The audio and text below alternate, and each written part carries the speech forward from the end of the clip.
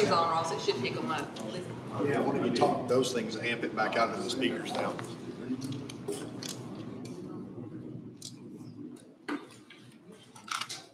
Gonna go ahead and. Well, we-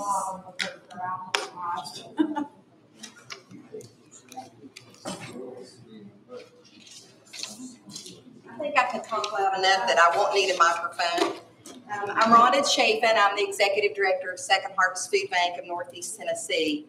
And um, we are coming to you tonight for um, a request of $10,000. And this will uh, go 100% to help with our uh, uh, children's program. Uh, It is, it is a program that's near and dear to everyone's heart here in Northeast Tennessee and in Carter County. Um, We received support last year in this amount of money, and we're asking for that again. Our monthly average in the Carter County school system to help children through the backpack program and also uh, through uh, our other children's programs, food box and backpack, is 404 children. And this will not cover all of that support, but it will definitely help out. And we greatly appreciate the support. The total budget is $45,652 to support children in Carter County.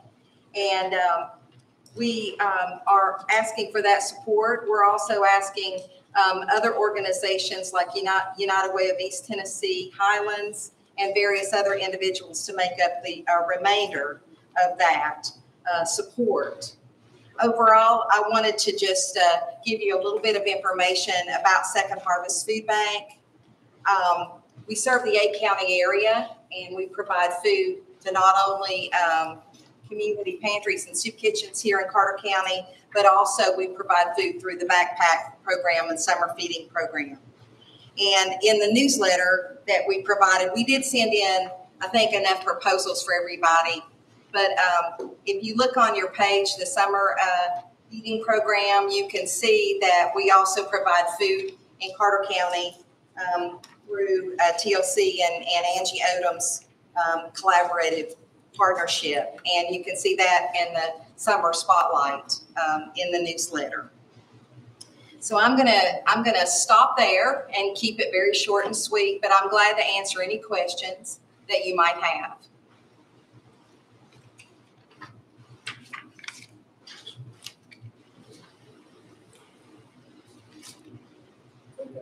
I think I'll speak for everybody whenever I say thank you. Thank you so much, and we greatly appreciate your consideration. And if you do have any other questions, we're glad to answer them um, if, if they come up tonight later on. Thank you. thank you.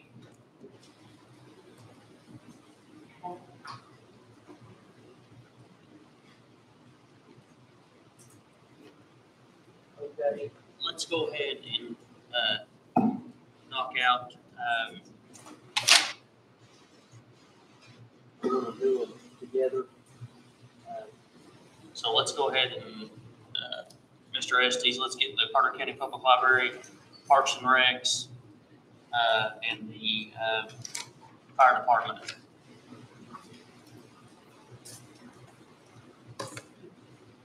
Thank you, Mr. Chairman. You're welcome, sir.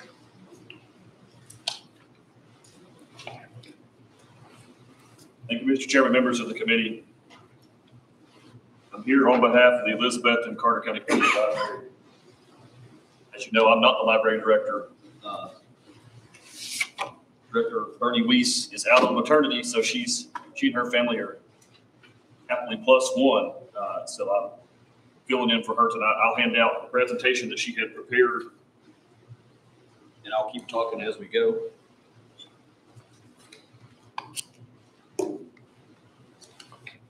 Have for you tonight is, and I'll be brief. uh,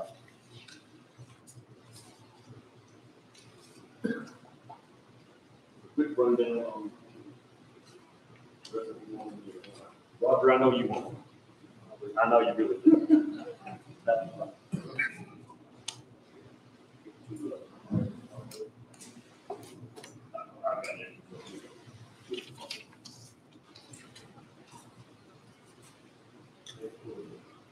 that out. I'll be brief. I know you've got a long night ahead of you. Uh, What you have in the presentation is, uh, again, a quick review of the the library, uh, what they're all about. Obviously, you know, it's, it's more than just books. It is books, but they have lots of, lots of programming across the board. Lots of other things besides books. If it's uh, online items you can check out, uh, but also DVDs, audiobooks, lots of, lots of media, lots of different formats. You don't want to sit here and read to you. I know you're going to be here all night, so I'm going to make it exceedingly brief. Uh, You can see here's some of the programming on page three, going on the library. Uh, Page four shows you a quick breakdown of where you see your card holders. Fifty-three point six percent of the current card holders are Carter County residents outside the city. Remaining are within the city. Uh, See there on uh, page four. Uh, Currently, Carter County provides seventy-five thousand dollars toward the operation of the library. Can you Confirm the number before I quote it to you. The proposed budget that we have, the requested budget that's coming up is five eighty-eight, four one six, five hundred eighty-eight thousand, includes the seventy-five that the county currently provides. With an additional request I'll get to in a moment, but it is not in the budget currently. So of the 588, 75,000 dollars of that is from the Carter County government. You know, the 75,000, 65, that's what you see on page five, $65,000, that's going for programming at the library. The additional ten is for books and materials. Uh, what's new and different, uh, and what's in our request is additional thirteen, seven eighty-nine, that's on page seven. Request really gets down to for the size library that we have, for the service area that we have, that's how they grade libraries. uh, We need to be open a certain number of hours a week, which is sixty uh, hours, and, and we don't meet that. Uh, the request is for the payroll and benefits, there's not any benefits, but the FICA and all that, the payroll that goes with adding hours to part-time people we have, not, not adding more staff, but just giving them more hours. So four people would get on average five hours extra a week, which would give us enough uh, to meet the 60-hour uh, requirement according to state library and archives standards. That's the request on the library. If you have any questions, I'll be happy to answer them. Again, I'm a talker, so I'm, I'm being brief on, on purpose, Mr. Chairman. Fine. Uh, to department, if there's no questions. I'm gonna ask you, you've got percentages, you know how many actual card holders you do have? Uh, it should, uh, let me see if I can recall. Uh, yes, we have, as of the end of the calendar year, twenty-seven thousand and two. You want to break down from there, I can give you the numbers. No, I, I just wanna know, just, you know, risk it.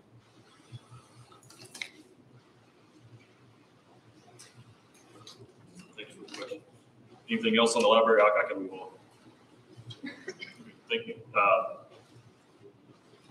Deputy Chief Hart with me here if you have any particular specific questions as to the fire department.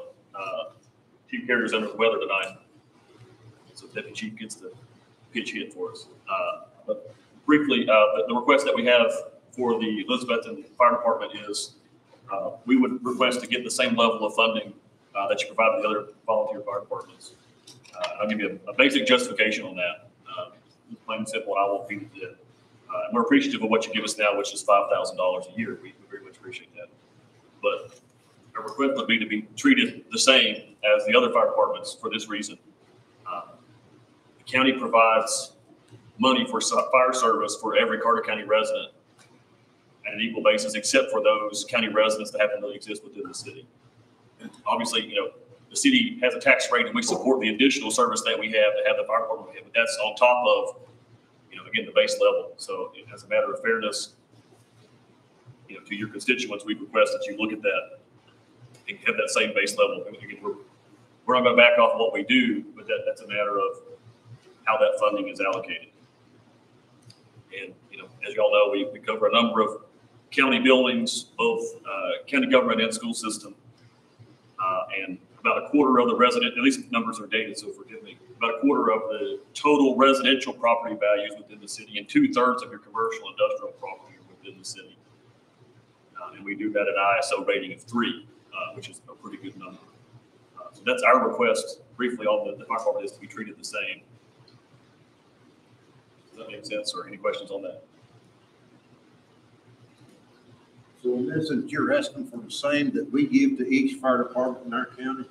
Yes, sir. For, for a base level that the, that the county, county provides money toward fire service for everyone, except for your county residents that live within the city. The county only puts five thousand dollars toward that currently. And my, our request would be to go to the same level that you provide everyone else. And we will provide extra because we choose to tax ourselves to have that at the city level. But if the county's going to provide fire service or money toward fire service for everyone, the request would be that we be treated the same.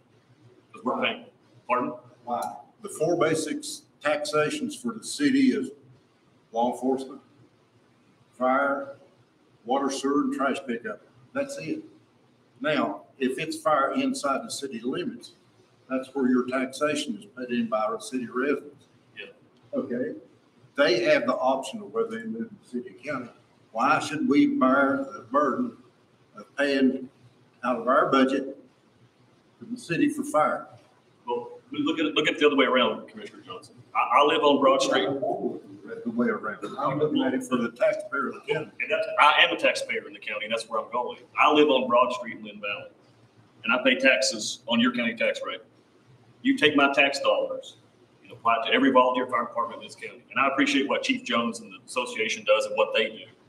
And I appreciate the fact that, to my, best of my understanding, that all the volunteer fire departments work well together and with the city fire department. So that's nothing against it, Chief Jones or the association, but I'm saying, you, you tax us for that. We get no value from that because you provide that to everyone else. We're asking for the same value that you give us, that same base level across the board.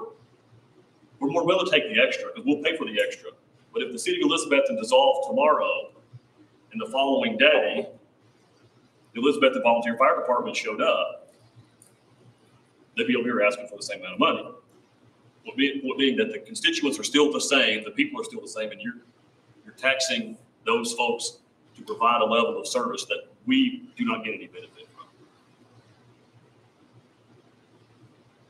We talk good around the subject, but that, No, that, that was, that was square to it. I'm not, I'm not trying to dodge you. thank you. You know, I know they had the town hall meeting last night on the ARP funds. Uh, Did you guys have a request on that, or I know for the ladder truck was We did. portion, or what, what was it? We did it. We're just looking for any kind of help.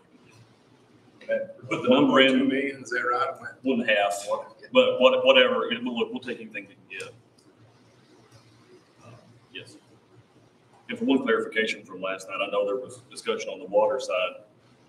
uh, For clarification for those of you who were there, for those who weren't, there was a question on whether the county was going to spend its ARP money to make the match for the water side on TDEC. You know, if you've got water utilities that need to make twenty percent match, whatever the number is. The city's going to make the match on its part. We put in for the TDEC portion for our county customer, not our city customer, but the ones that exist in the county. West Carter County, Watauga, Lynn Valley, on and on. We're willing to make the match out of our own money. For that. was I a bit of a tangent, so That was like two million or so. two point six. And then we'll make the match on top of that. Because the project's about six point three, and we're going to cover the rest of it with our own money. Yes. Anything else on the fire departments? All right, I think we're good with those departments, all right? I know Mike's here. Come on up, Mike.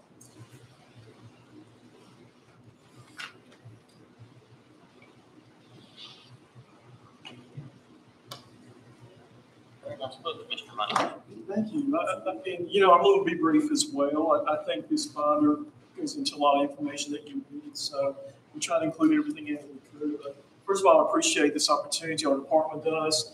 Uh, It's a pleasure to be here with y'all tonight, and and hopefully I can answer any questions you may have. But our allocation request is, is uh, the same as, as it has been. It's twenty-five thousand dollars. Uh, We didn't increase it at all. And in your binder, you can see various uh, topics, uh, including a, the, our loan request, the, uh, our budget, goals and objectives, our master plan, and then the current facilities, and, uh, just give you a little bit of a closer look at what's been going on. And that's the last, um, uh, section in your binder, so I just want to cover that really quick with you.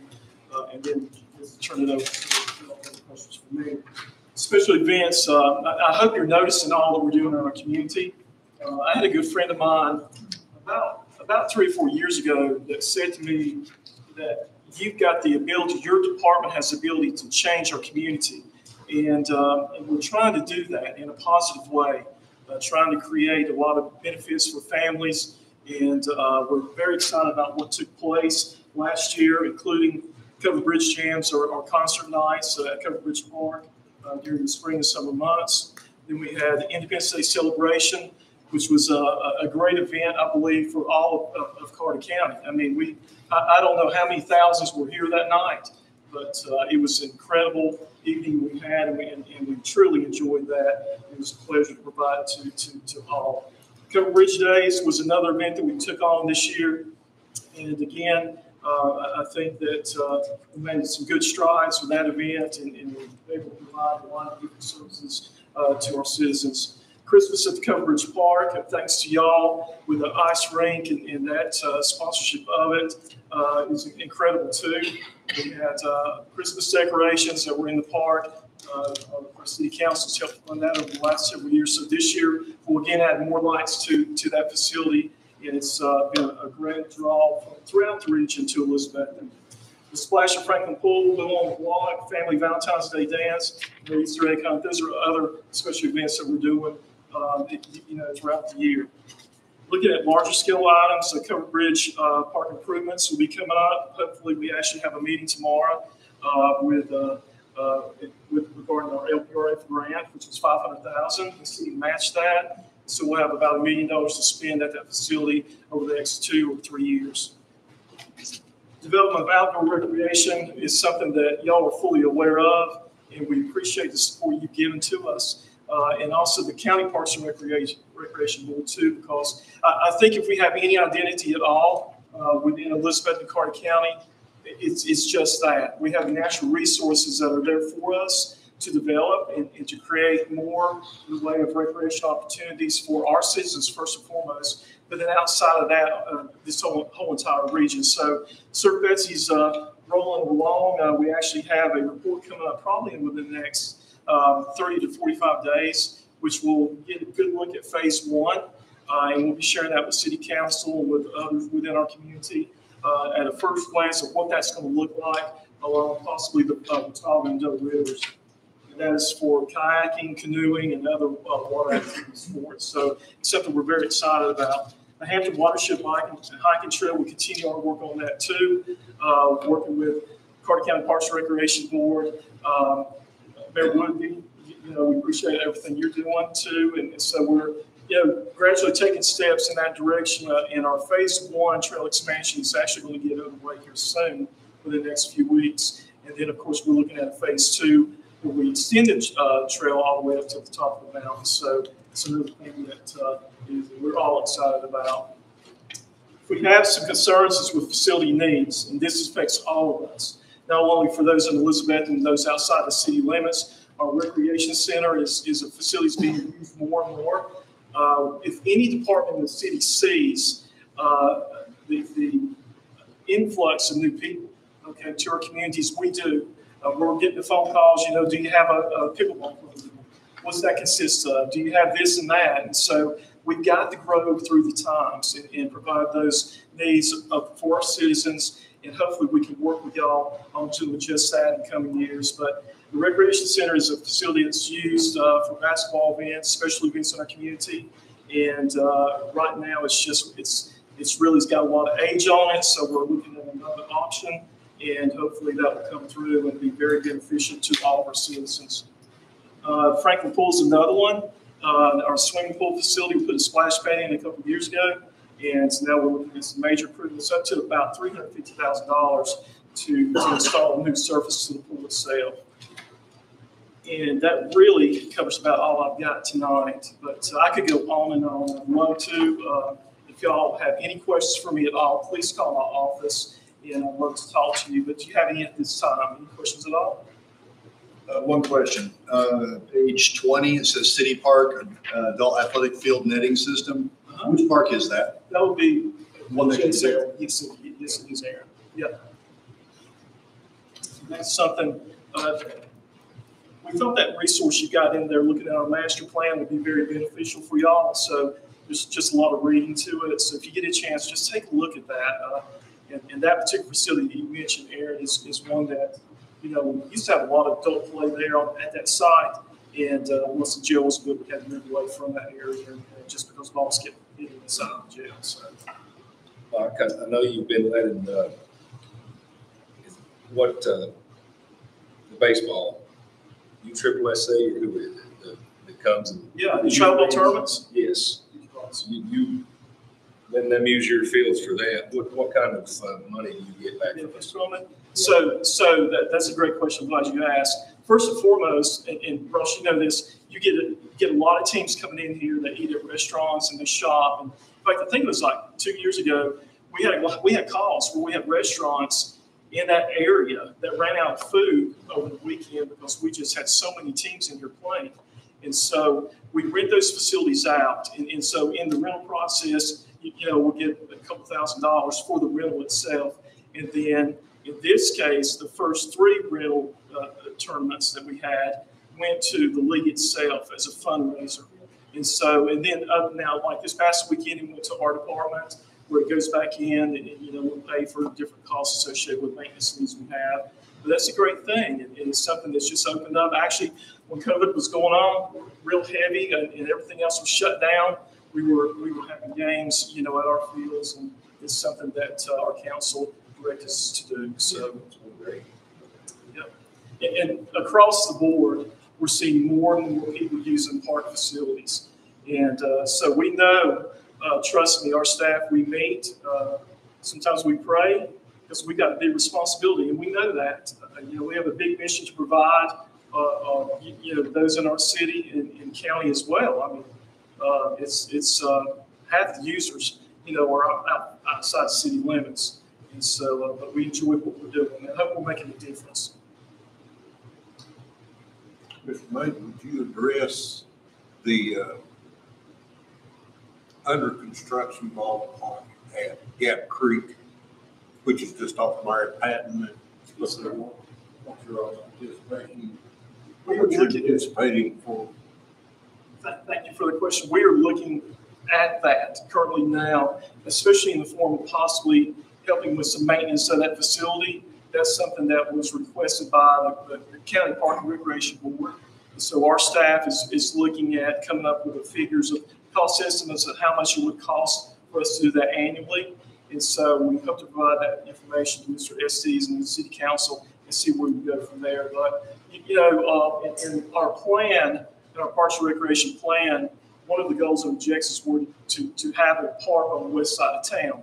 And so that meets that description right there. Of course, it includes a dog park, it includes adult field uh, that is needed because again, we can't, you know, we can't necessarily play the city park because it's just not, the fences aren't long enough uh, to, to hold it there. But um, I, I think there will be more and more discussion about that facility. I know we've been uh, speaking a little bit with the project manager who's us some information that we could look at and trying to determine how much it would cost annually to maintain that, maintain that facility.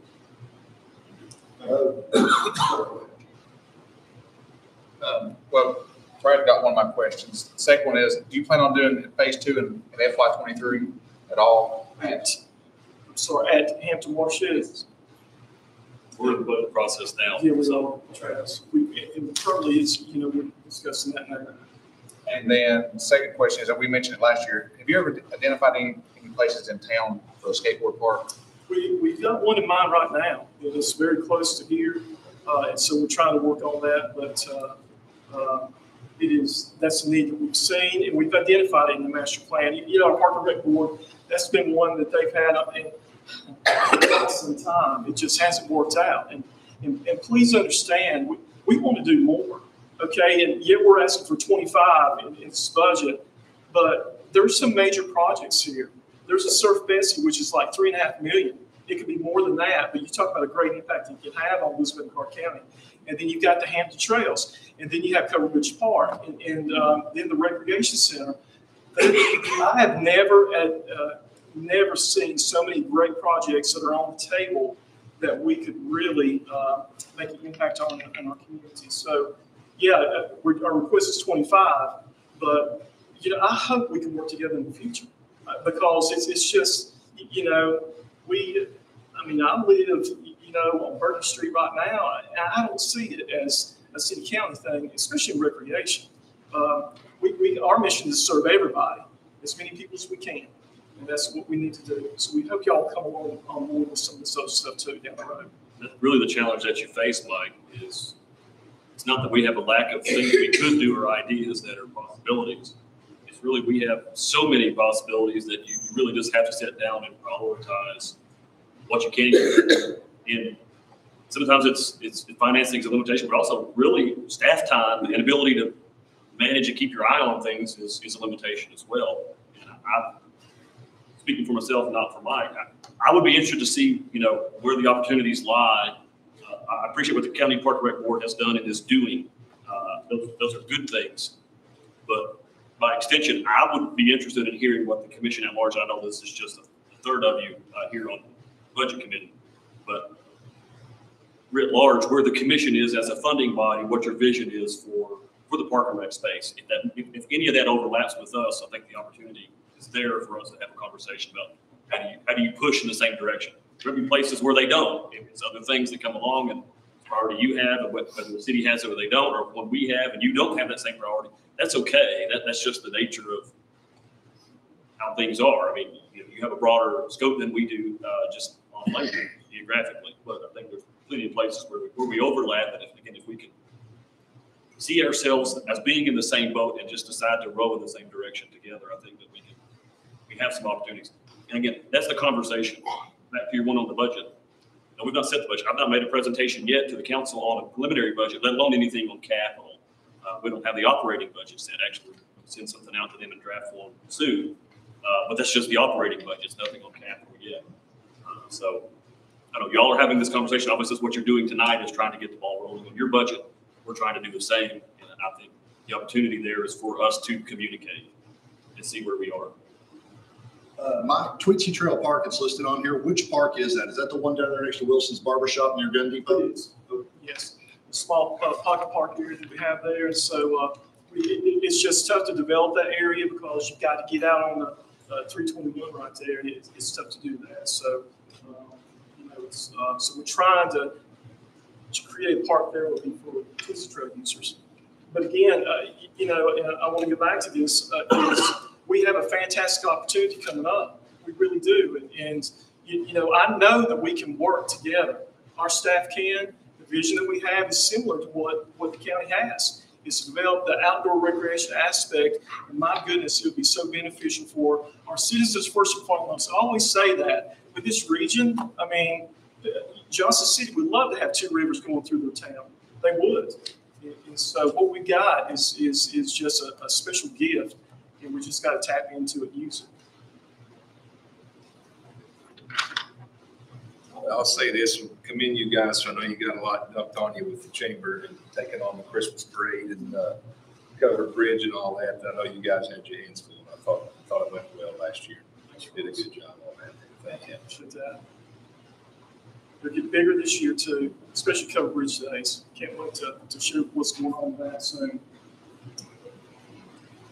Good stuff. Thank you so much. Appreciate your support. Thank you.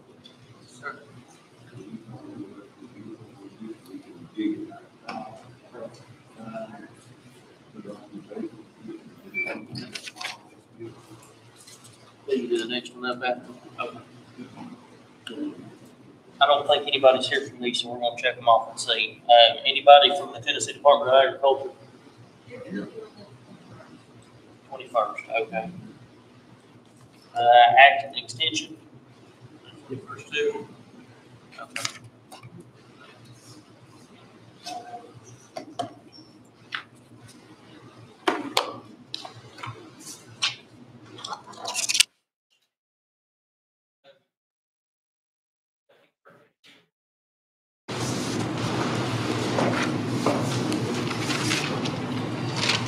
And after that, we'll do the, uh,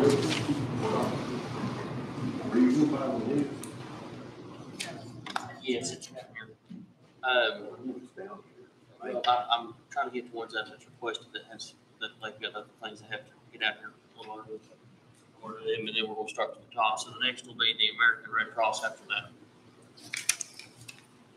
First of all, did everybody get a presentation sheet for keep having that one? I think uh, everybody here knows who we are. I was here last month introducing myself as a new chair, Keep Carter County Beautiful. Um, You know of our activities. Uh, Just as a reminder, just February and March, we've already had three events uh, trying to help the county and the city out. Uh, We went out to Little Milligan Boat Ramp, Watauga Lake, and we uh, cleaned out 4,600 pounds trash out of the lake. Um, Identified several areas that uh, need further cleanup. Um, We'll be working with Keep Tennessee River uh, Beautiful in the future. Uh, We want to make sure that our lakes and streams and rivers are kept um, as beautiful as we can. Uh, We did some Watauga River cleanup. Uh, We've identified an area on the Watauga River here at Blevins Road that has uh, 100 tire plus tires in it. We removed about half of those. Um, We, just last Saturday, planted 30 trees on the Tweetsie Tweetsie Trail. Our vision on the Tweetsie Trail is uh, to plant a tree everywhere we can plant a tree. We would like uh, tourists, businesses, and the residents to be coming down the Tweetsie Trail and see flowering trees in the spring, foliage in fall turning colors, just beautify it and make it look um, as best we can. Uh, On the Watauga River, um, we're also looking at cleanups on Blevins Road, the, in the fish camp area there. We want to make sure that we keep the roads that are accessing our waterways um, nice and clean. We want, we want as many tourists and residents to enjoy the facilities and the, and the countryside we've got, hills, mountains, forests, wildlife. On that chart that you're looking at, um, you'll see our activities for the last three years. You'll see we're down slightly from the pandemic. We plan on being up uh, in the 20 event uh, again this year. Um, Beautification projects are usually the uh, costliest of our events uh, because we have a very high and strong volunteer base that provides the labor for these things. So the funds we're looking for this year seven thousand dollars. We'll go for uh, beautification, trees, flowers, plants. Uh, We've got wildflower uh, plots planned. We also have cleanup events every year. We've got um, almost a dozen cleanup events this year. Anybody drives 321 from Johnson City to Elizabethton or Elizabethton to Johnson City, you know what that looks like when we get later in the year, especially when the lawn's not being cut uh, or cut for the last time. We get tourists and businesses coming in and out of there. The last thing I think we want them to see is a lot of trash. We want them to come in, see a nice clean road, come into our parks, come into our waterways, come into our roads and see nice, clean, beautiful roads. I live, uh, for those who don't know, I live over in, um, Quail Hollow subdivision. And I can tell you right now, over the last year and a half, we've had a dozen new residents from out of state move in. I'm one myself, a transplant. We're adding to the tax base and we're we're coming here because it's such a beautiful. Garland has a trasher size um, container on his, uh, drinking container on his thing. Um, You can see that the dollar value that we provide to the community far is in excess of what we're asking for funding. Um, Two bullet points on the bottom of the chart there will tell you a little bit more about what we do. And um, the last bullet point there I want to talk about is we lost our secretary last year. Um, She had some family issues and uh, needed to attend to those. We had plans on working with the chamber to pay uh, a small amount of money for a salary for a secretary that could help us out with the flyers, the grants, our nonprofit documentation and things like that. Um, We are fortunate that we had someone step up as a volunteer who has a master's of business and is helping us with all the secretarial functions now. So we did reclaim the money that was going to be paid to the salary. Um, we reclaimed that money and it's in beautification and it's going toward the trees and flowers and plants. Um, you'll see us all over this county, Ripshin Mountain, Roan Mountain, Watauga Lake, um, Watauga River, Elizabeth, and, um, we have no limits on where we're going in the county. Um, any questions at all I can answer? Uh, if not, I'd like to see everybody in this room, maybe out at our next event. I'll say, Don, of course, I earned that right there. Yeah, you did, you You're did. an active member of this group and on the board of directors. If you will, well, I'll say this, that none of this money goes to any paid positions. It's a completely volunteer organization. Absolutely. That, that's why I brought up the secretary's position. That would have been the first time any money at all went to an individual as a salary. We were glad to recoup that. I'm glad we do not have to pay that because now we can maintain our one hundred percent volunteer status. Every dime that we're funded with goes right smack back in the community, plus all the free labor from the volunteers that are out there. Uh, we have a very large base of volunteers. Not all of them work every event. We get anywhere between ten and twenty volunteers at each event.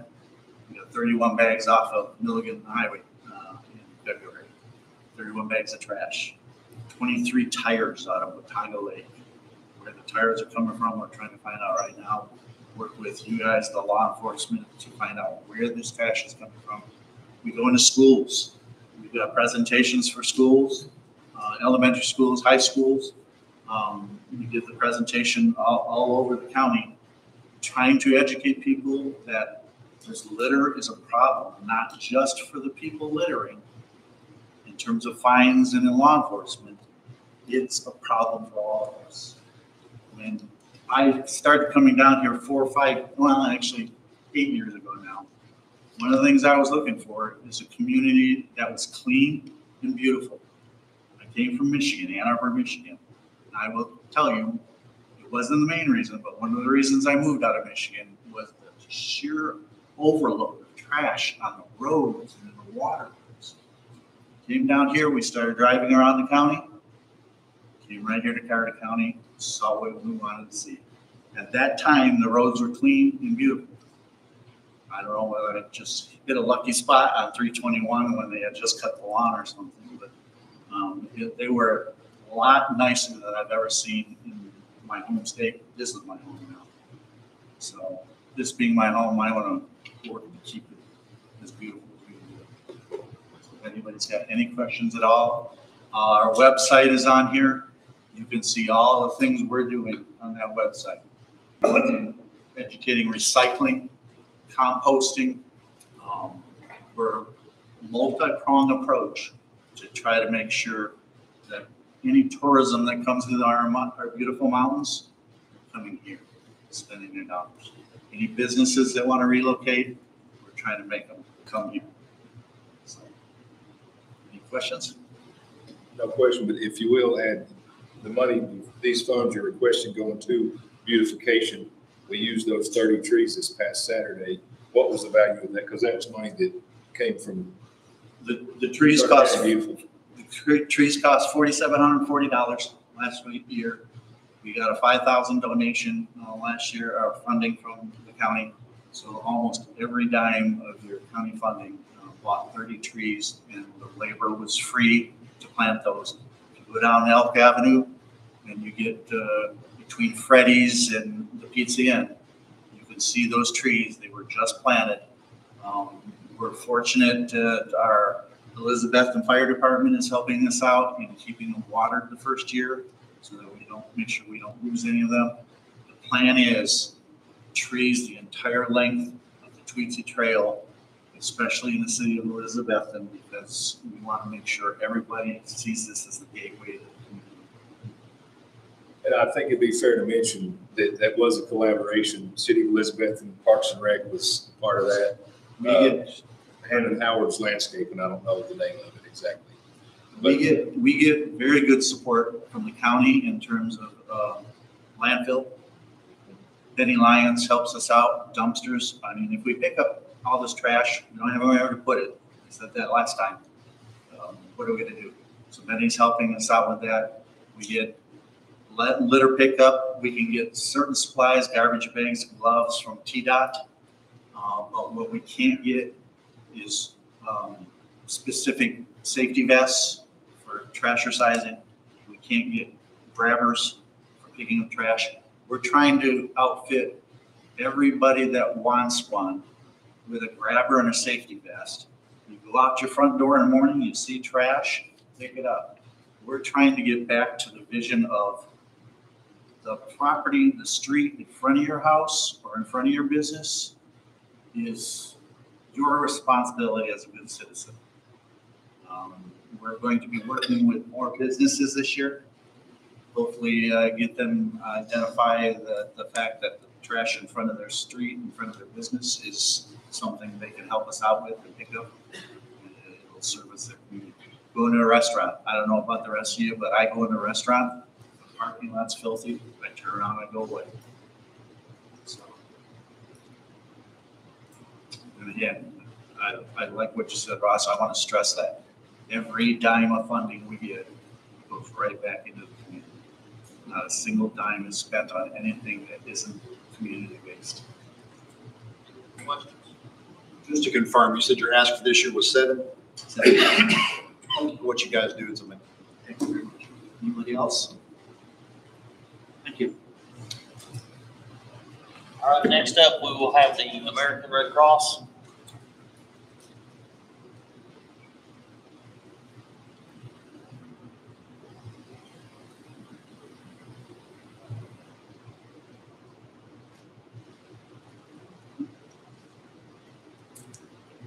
Good evening, everyone. My name is Heather Carbajal, and I'm the Executive Director for the American Red Cross of Northeast Tennessee. This is also my second time presenting to you all, so it's nice to see some familiar faces. Um, We're asking for $4,000 in support, the same amount that we've requested last year, to go directly towards our direct financial assistance for our disaster. In times of house fires or other disasters, the Red Cross responds immediately.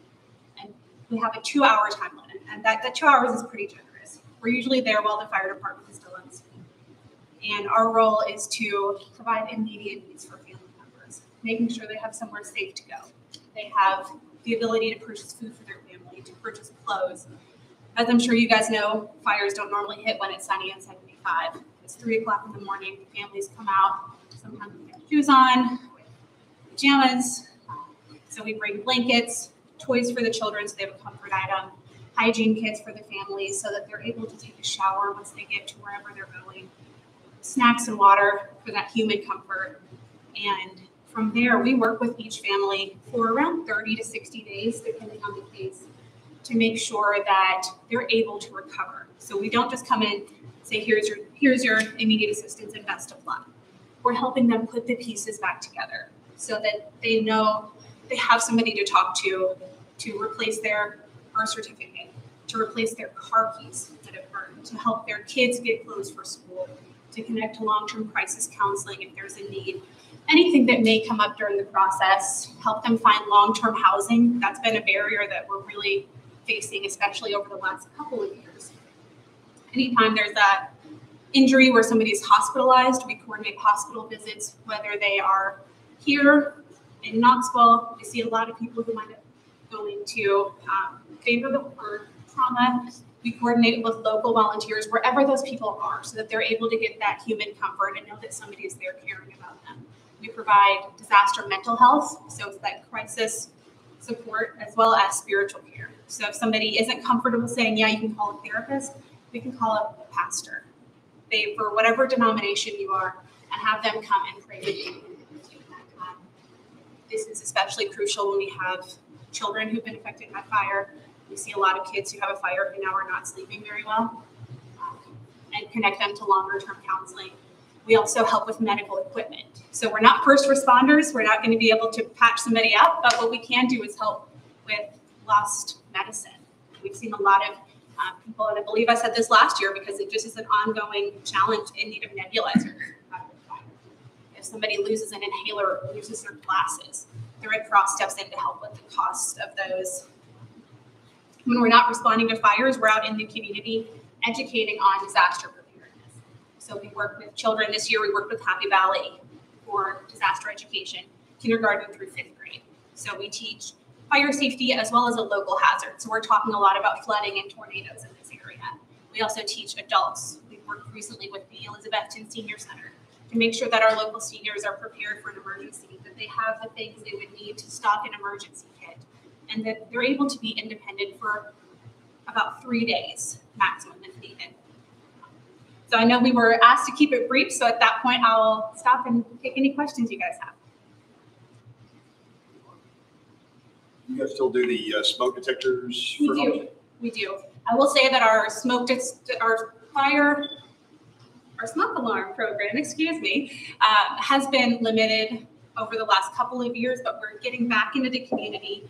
We're doing those appointment-based alarms. So I'm going to ask that you guys and also everyone who's listening, if you know someone who needs smoke alarms, if you need smoke alarms, we'll come and install them for free. We'll replace any alarms that you guys have. If they're older than 10 years, so you really should be replacing those. We'll come in and take care of that for free at a time that's convenient to you. Are you guys also doing a program for the schools?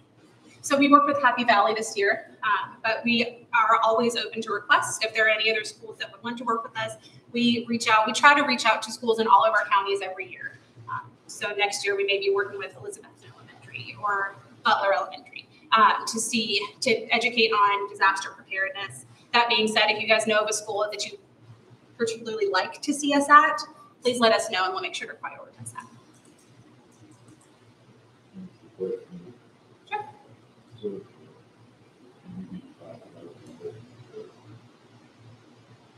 Section of that, this is the Red Cross. Need to be made. Red Cross, Clark County. So if it Leave this there.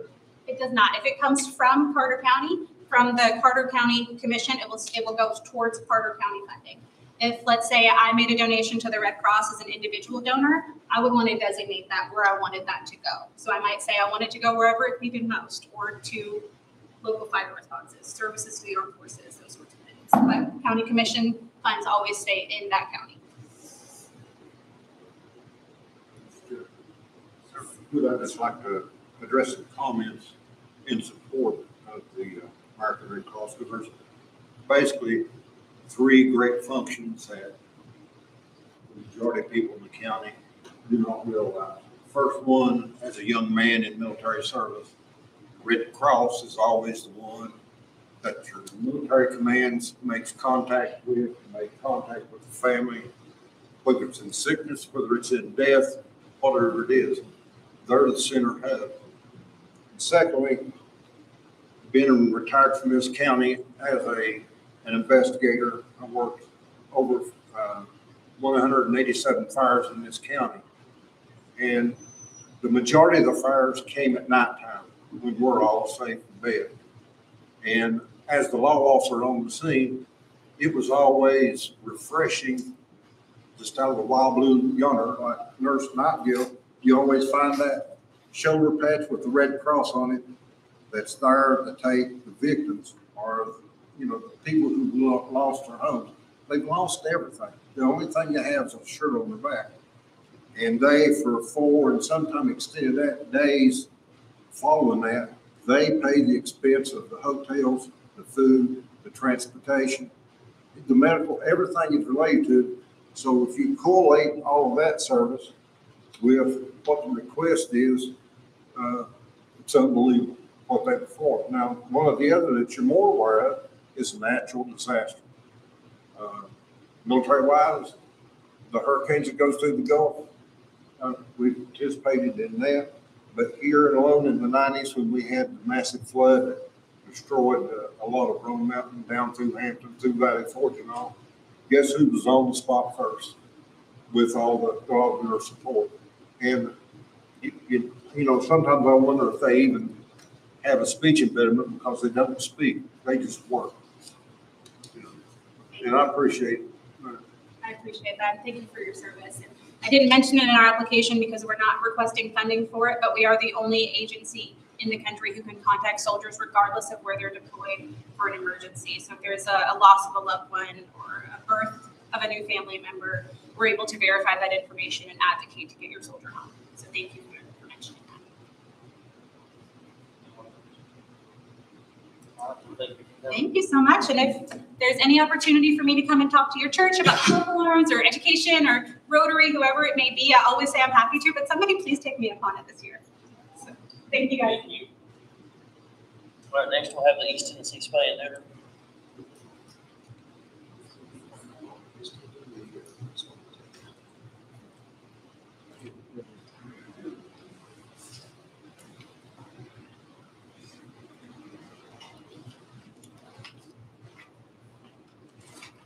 Hi, I'm Priscilla Davis of the Citizens Bay and this is our first time ever hearing for you requesting assistance. We are a low-income spay and neuter program.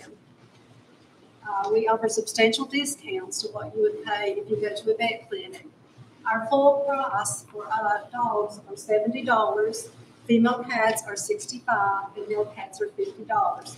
This includes surgery and a rabies shot which is a great deal for most of us. However, a lot of folks in Carter County really don't have that much extra money lying around. So we are requesting twenty-five hundred dollars from you to go directly towards spay and neuter for low-income Carter County residents. Low income, they must be between thirty, under thirty thousand dollars a year. We do verify that they are Carter County residents, and we do verify their income uh, we have requested the same amount from the city. Uh, we have a matching donor that's a nonprofit that will match everything that you give us. So if you give us twenty-five hundred dollars, they will give us twenty-five hundred dollars. If the city gives us twenty-five hundred dollars, then, you know, we'll get twenty-five from there. So that's a lot of money. If we do get this money, we will have a minimum discount of twenty-five dollars per pet. And it may be more depending on uh, the amount of money that we get. A few years ago, we had a very generous donor in Carter County donate a thousand low cost, ten dollars spay and neuters for residents of Carter County only. We did have to verify that. Uh, we use Margaret B. Mitchell Spay Neuter Clinic in Bristol, Virginia. The only low cost spay and neuter clinic that's around. Uh, basically, we collect the money from the people as they file an application and then the clinic bills us, so we pay the difference. Um, Any questions? All right, appreciate you coming. Thank you very much. All right, next up, we'll have the Butler Volunteer Fire Department.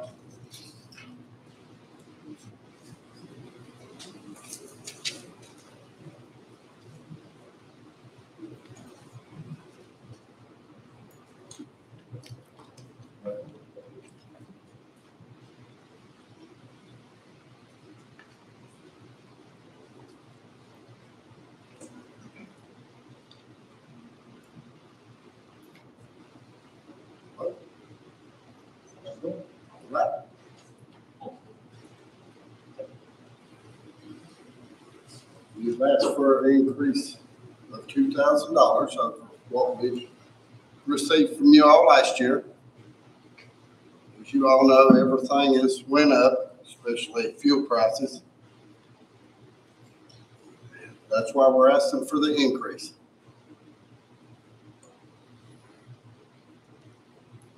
Anybody have any questions about this?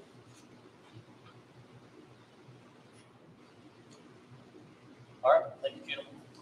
Oh, sorry, No, I just, we gotta thank you guys for, for volunteering your time and effort and, I mean, your lives for saving people and, and we appreciate that. And we thank you for all that you do to help us.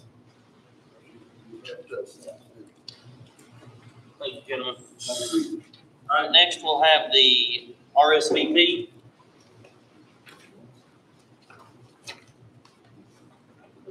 We'll do.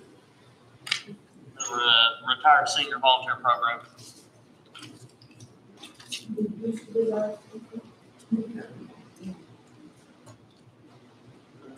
Is that what it is? I'm sorry. Is that what it is? No, it's the retired senior volunteer program. We were- Now it's called the Upper East. Yeah. Okay. They're, uh, now known as the Upper East. Okay, sorry. You were fine, Upper East. We're Upper East Tennessee Human Development Agency, that's us. Okay. Yeah. We, uh, they discontinued, we don't have the RSVP program anymore.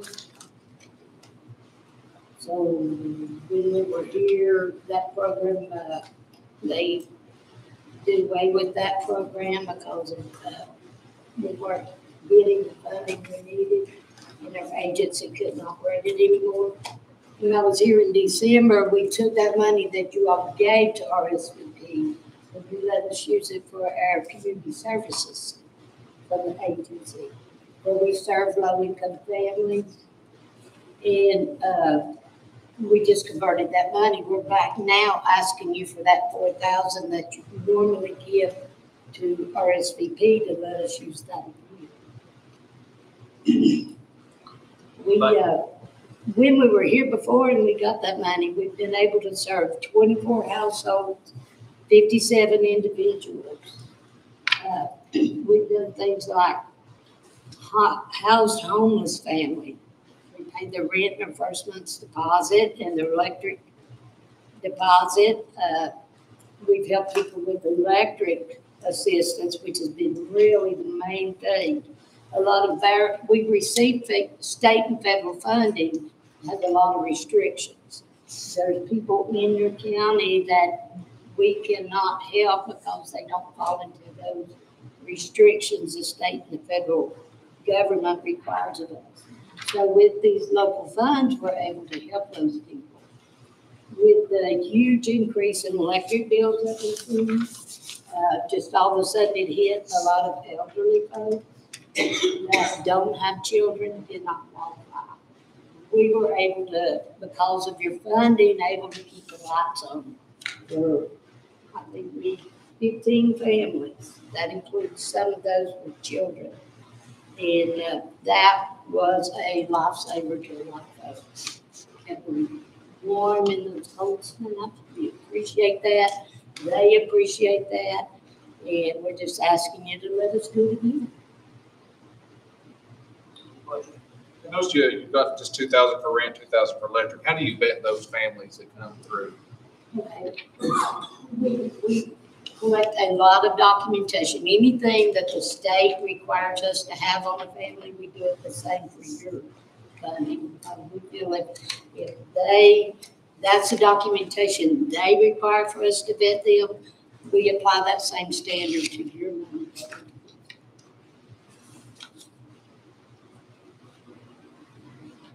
Nothing's done without documentation. Lots of documentation.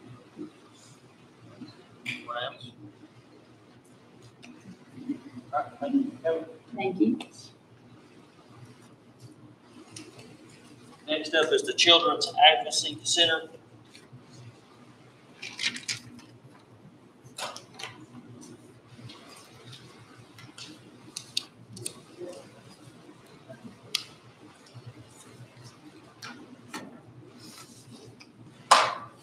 Hello, my name is Samantha Prater. I'm the Executive Director of the Children's Advocacy Center the First Judicial District.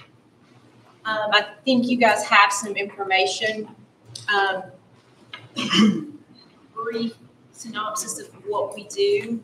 Um, we serve the First Judicial District, which is Carter, Washington, Johnson, and Unicoi counties, and we provide, um, child abuse prevention services for children and their families in severe physical abuse and sexual abuse um, investigations. We work with our multidisciplinary team partners, which is the district district attorney's office, Department of Children's Services, uh, law enforcement, city and county from all four counties, uh, TBI, FBI, Homeland Security, uh, Frontier Health, ETSU Pediatrics, and juvenile court from all uh, four counties. There's five juvenile courts there. Um, We provide forensic interviewing, trauma-focused therapy services, forensic medical exams, and advocacy services for children who have been severely abused. Um, we also do education programs in schools for internet safety, body safety, and, um, I'm sorry, I'm drawing a complete blank here.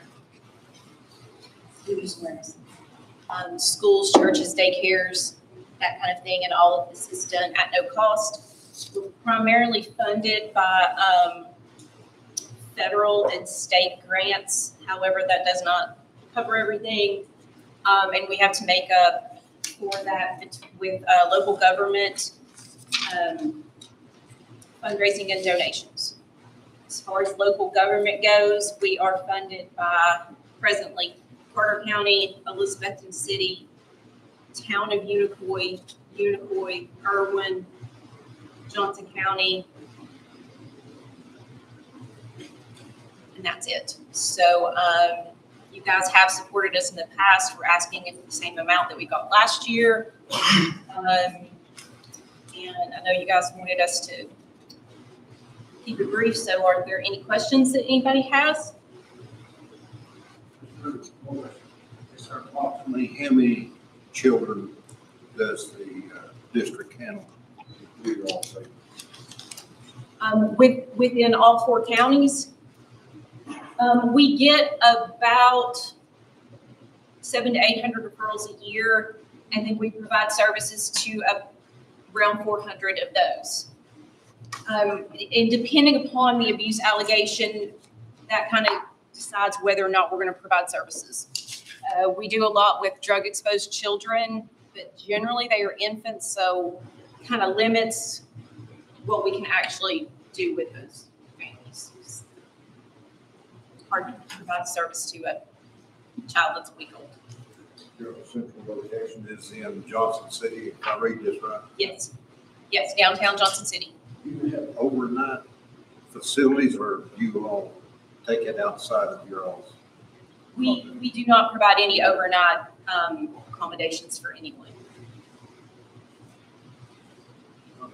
Age range, sorry. Go ahead. Is that just under eighteen, basically, or? Um, generally, we like to do about three to eighteen.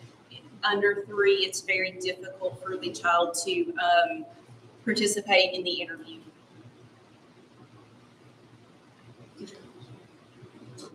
I can't remember what it was.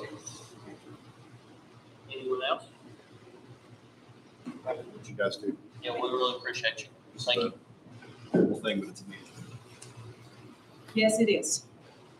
Okay, thank you guys so much for your support in the past and hopefully in the future, and you all have a wonderful time. Thank you. All right, do we have anybody here from the Imagination Library? Uh, Mr. Hicks is here. Pat Hicks. had nobody.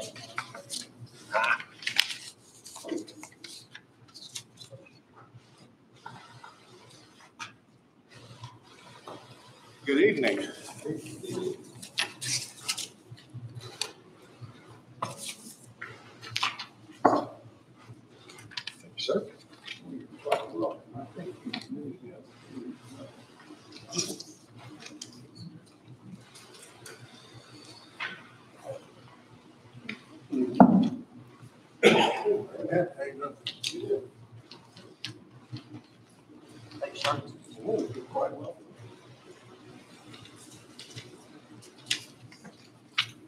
I'm here on behalf of the Imagination Library tonight, and uh, personally, I would like to thank you for your service to Carter County. I know sometimes it's a thankless job, uh, but I'm happy that we have people who are willing do it. And uh, I think you do a good job. On behalf of the Imagination Library, I would like to thank you for the fine manner in which you have supported the local Imagination Library through the years. And uh, we are hoping you will continue to support it. We are not asking for an increase. We might be funded at the same level as we have received the past few years. Uh, I will share with you a little information, and I'll try to keep this brief. We have served since Carter County Elizabethton Imagination Library came into existence, we have provided books for three hundred ninety-two thousand, four hundred and twenty-seven. Now, that's not the number of children. We've provided that number of books to children in Carter County. If you're not familiar with the program, and there probably are very few people who aren't familiar because most of you, it's received a lot of publicity, and most of you have had children who participated in Imagination Library, or if you're older, like myself, you've had grandchildren who participated in Imagination Library. And uh, children, from the time they are born until they, uh, in their fifth year, receive a book per month. Now, those are actually mailed out in six mailings per year, so children receive uh, two months' worth of books in, in one mailing. Uh, the books begin with The Little Engine That Could, which, uh, and this, uh, by the way, is a 90, uh, 90th anniversary commemorative copy, and it holds special meaning for me because it was the first, not from the Dolly Parton Imagination Library, but it was the first book my mother ever read to me. And it was the one that was my favorite when I was growing up. The last book in the series that uh, children get is Look Out Kindergarten, Here I Come. Uh, now, we are currently sending books to 2,155 children in Carter County uh, with each mailing. Now, in the packet that I've given you, there is some information. I won't try to go over this tonight. If you look at this and you have any questions, feel free to contact me. Uh, You can reach me at uh, area code 423-767-5744, or you can call Ashley Williams at the local library. Uh, And the truth of the matter is, Ashley knows a whole lot more about the program than I do. Uh, But uh, do you have any questions tonight I can answer? If not, thank you. And again, we appreciate your support. Uh, You've been one of our, you and the city of Elizabethton have both been faithful supporters since the formation of the ordinance.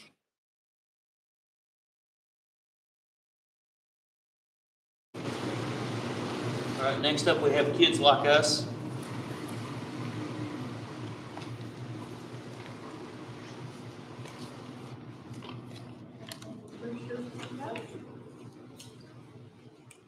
For having us tonight. Uh, As you know, last year, Kids Like was relocated to Sullivan County due to our COVID being so to recovery soldiers minister at the old landfill.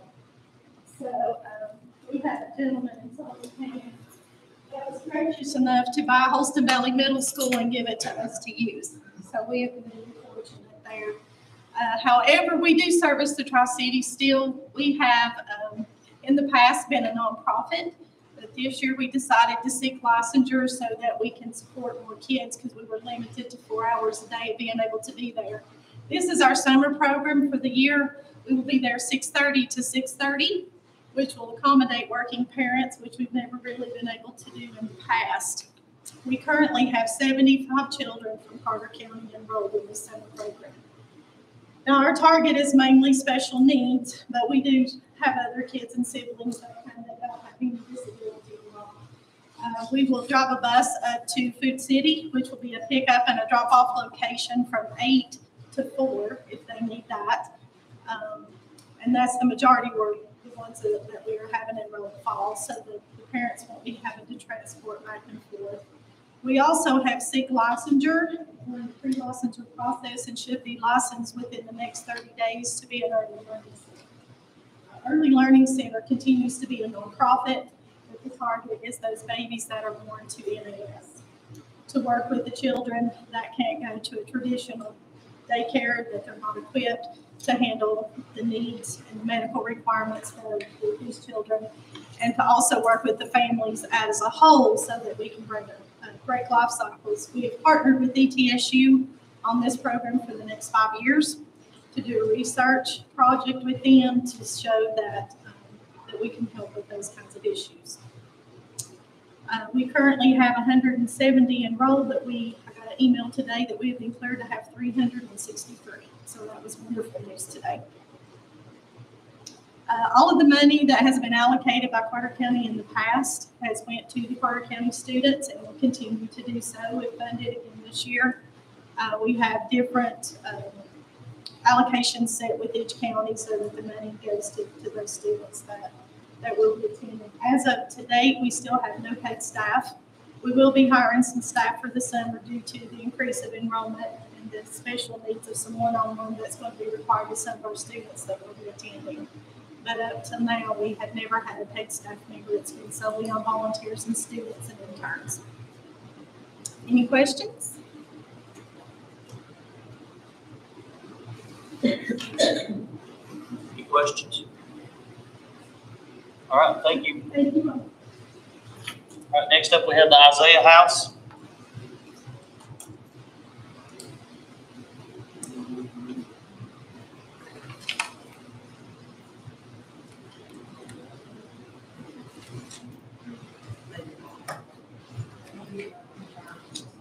Okay, we'll move on past them. Uh, the Shepherd's Inn.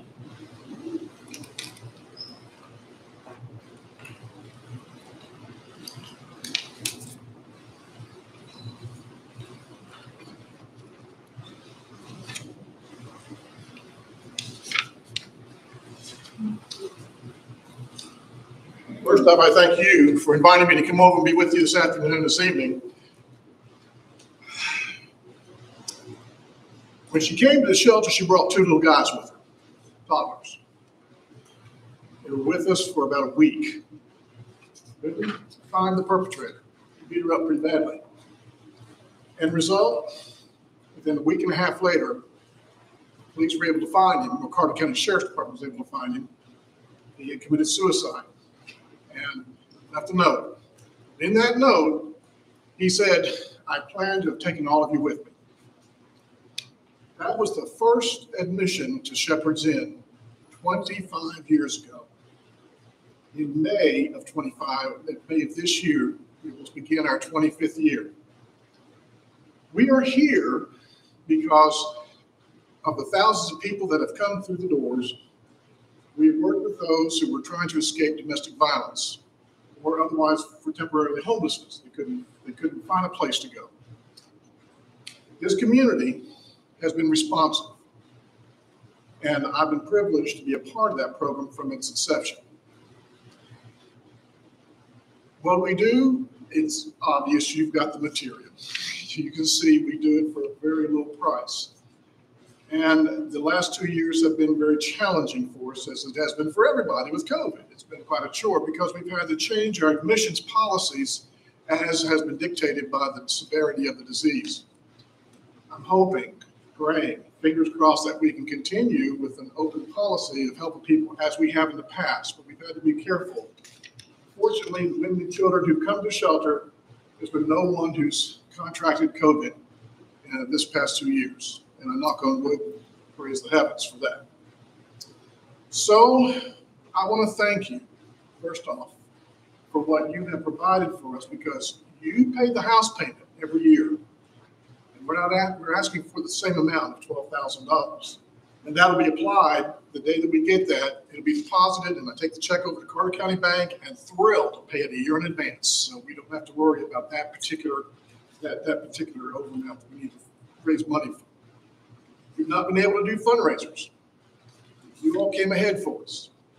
Thank you. I know the Child Advocacy Crew and Shepherd's Inn are very grateful. The Funds that were provided through the, for the court system, that helped us tremendously, uh, we share those funds with the court system, and we appreciate that so much. The budget you see is not really a good budget because it's hard to indicate how many people we're gonna have next year. I will tell you that we have, already, we have more than we anticipated for right now.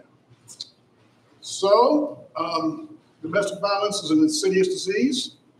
I don't need to tell you that it's involved. It's not fun. But I will also tell you that the women and children that come there, they, we connect them with, of course, safety first. We work with them very closely with getting jobs, making certain that they take an order of protection, which we did this afternoon on one case.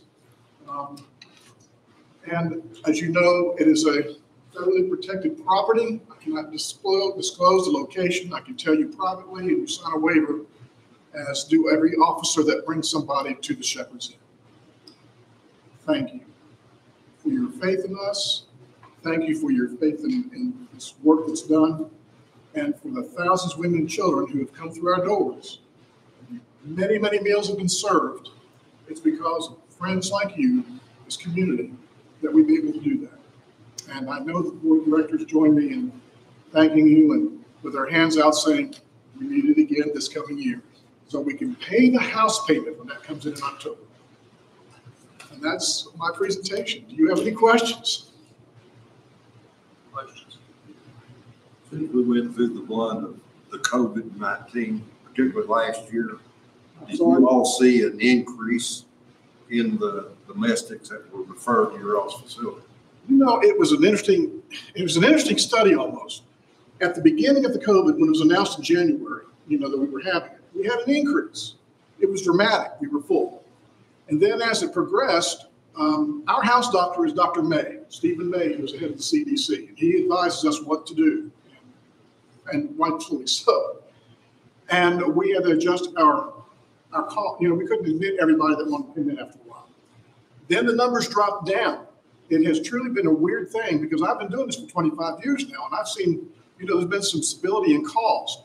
The calls somewhat increased from outside the area, but inside the area, it isn't. I have a theory on that. And I talked with Kathy Walsh, who's the head of the state coalition of this. Because we're a rural community, think about it. If you have a perpetrator in your house, they're not going to work. It's pretty hard to get to that phone and call 911. And I think that we've had a lot of abuse that went on without us, them being able to communicate with us. So, you know, it's going to be, it'll, we'll see this more as the time wears on down the road. I think we're already beginning to see it on this end. That's I also figured that since everybody's locked up at home, between the head, the two heads won't come together more often, because they're gonna get on each other's patients. Normally, the results of it winds up in your facility. It does. And then we work very closely with everybody. You know, Department of Human Services, Child Protection Agencies, on and on and on. We, we're within like Carter County School System. What a wonderful program we work with because those kids can't get to school. They get the material to us. Elizabethton City Schools, as well as the Sheriff's Department, City Police, we're all in tandem working with these folks. So we, we can be proud of the fact that the community comes together to make certain these folks' needs are met. Thank you. If there's any questions, please know that we're there and I'm glad to answer them anytime. Policy on the, since Dr. May is there, what is your policy on accepting women that come in if they're not vaccinated? Are they allowed to stay overnight? Here's, here's how we've been doing it for the last few months. And I anticipate with my board meeting next week, we're going to change that again, because we changed it a lot. We had to go to the thing when the, uh, when the, uh, the variant came out, this last one came out. We found ourselves, the board said, we better be careful. It's recommended that we only take those who are fully vaccinated. Now, there's an exception to that. When a police officer walks into a home, and they can't find the guy, he's not been vaccinated, we still take him in, okay? If somebody calls me from, from Rogersville, as they did last week, and they've not been vaccinated, we're not going to try to do that. We're going to try to connect them with some other agency that has the facility to house them separately from everybody else. So we can take, we do take people in if they were not vaccinated, and um, Just not many. there's not many. If it's community-wise, I, I take those first. If they're out of this area, I try to find out some other place for them to go to. So it's, it's a little, it's a little tricky, but we want to take care of our community, obviously. with the, the facility that the last time I was with it was at the VA grounds for domestic abuse. Is it still operational? Safe Passage is operating, but it's operating under a different title now, and it's, uh, it's, it's at a separate location than it was before. So we- And we do have reciprocity. We work very closely with all these other shelters as well. Thank you. You're, you're, you're, you're doing yeoman's work in here, believe me, trying to separate all this out, and I appreciate it. Thank you.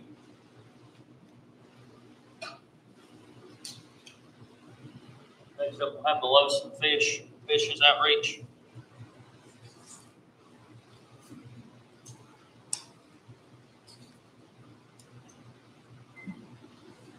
I do have some, a few updates since I've sent in the paperwork. Numbers changed a little bit. Um, I'm Serena Miller and, um, I'm the director at Loaves and Fishes on nineteen eighty. Uh, we're a, we're a food, uh, we give out food and we do hot meals four nights a week. Um, our,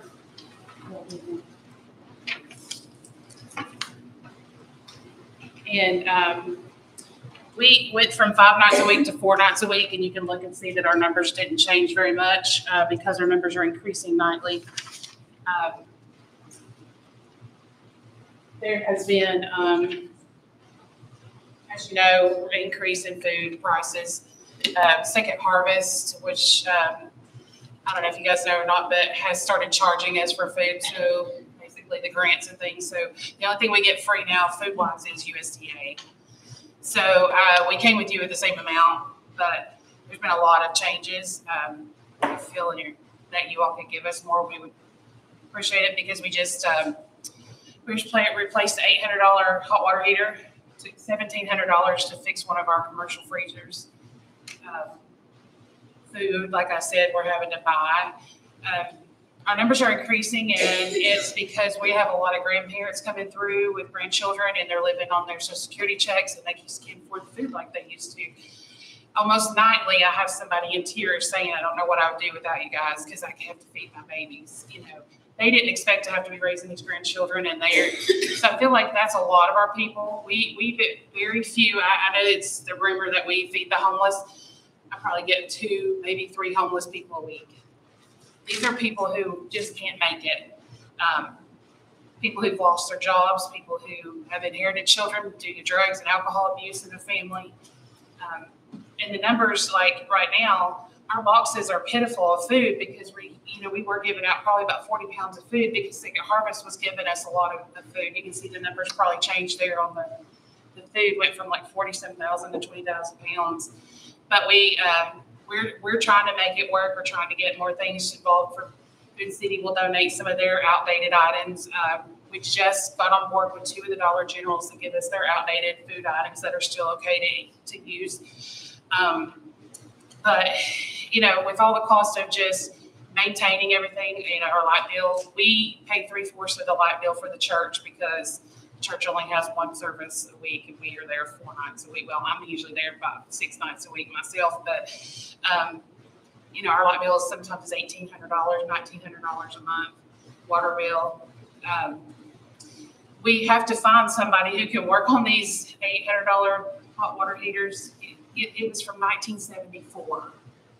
And it had so much sediment in it, it took three men to get it up from the basement at the flight of steps. So I have volunteers who do this work and sometimes we have to pay people because it's, I mean, it's a lot of work. Um, I myself spend about fifty to sixty hours a week trying to keep everything running. Um, I'm, the only thing that I'm asking for is to keep us going. Keep, you know, I want these people to have enough food uh, for their families.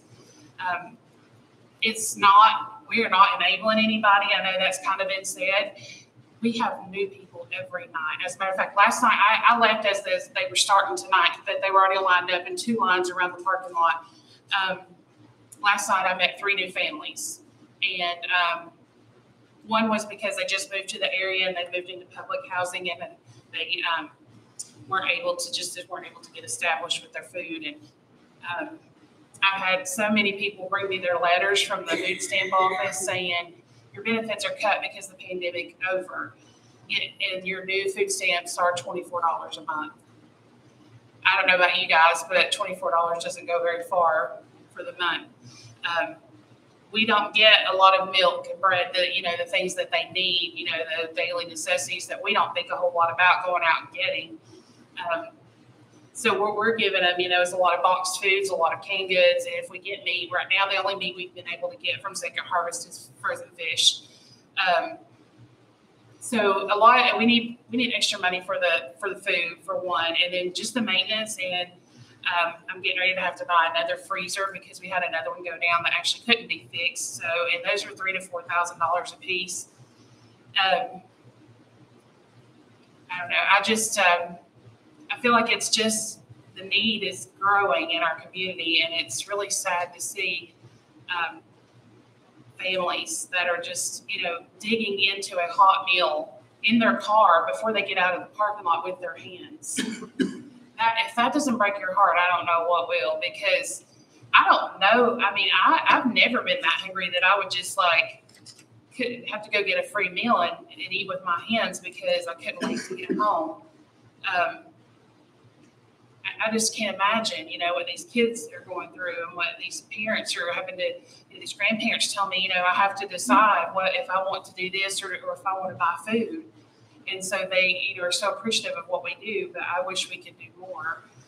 Um, we do give out food boxes twice a month. They are allowed to come every two weeks. Um, they are allowed to come every night that we're open, which is Monday, Tuesday, Thursday, and Friday from six to seven for a hot meal. Um, some people will come and get the hot meal most nights. Um, some come just for the boxes and they say, no, we'll go home and cook our own food. So, you know, we're helping all types of people, all walks of life. Um, you know, I have people who tell me I've never had to do this before. You know, what do I do? I, have never had to ask anybody for help. And um, we've just recently started giving out hygiene supplies because we have people who can't afford to buy the soap if they buy food or they buy, you know, pay get buy gas to get to work. They don't have the extra money to buy shampoo they need. So we've been trying to keep that on hand by to get people to donate it.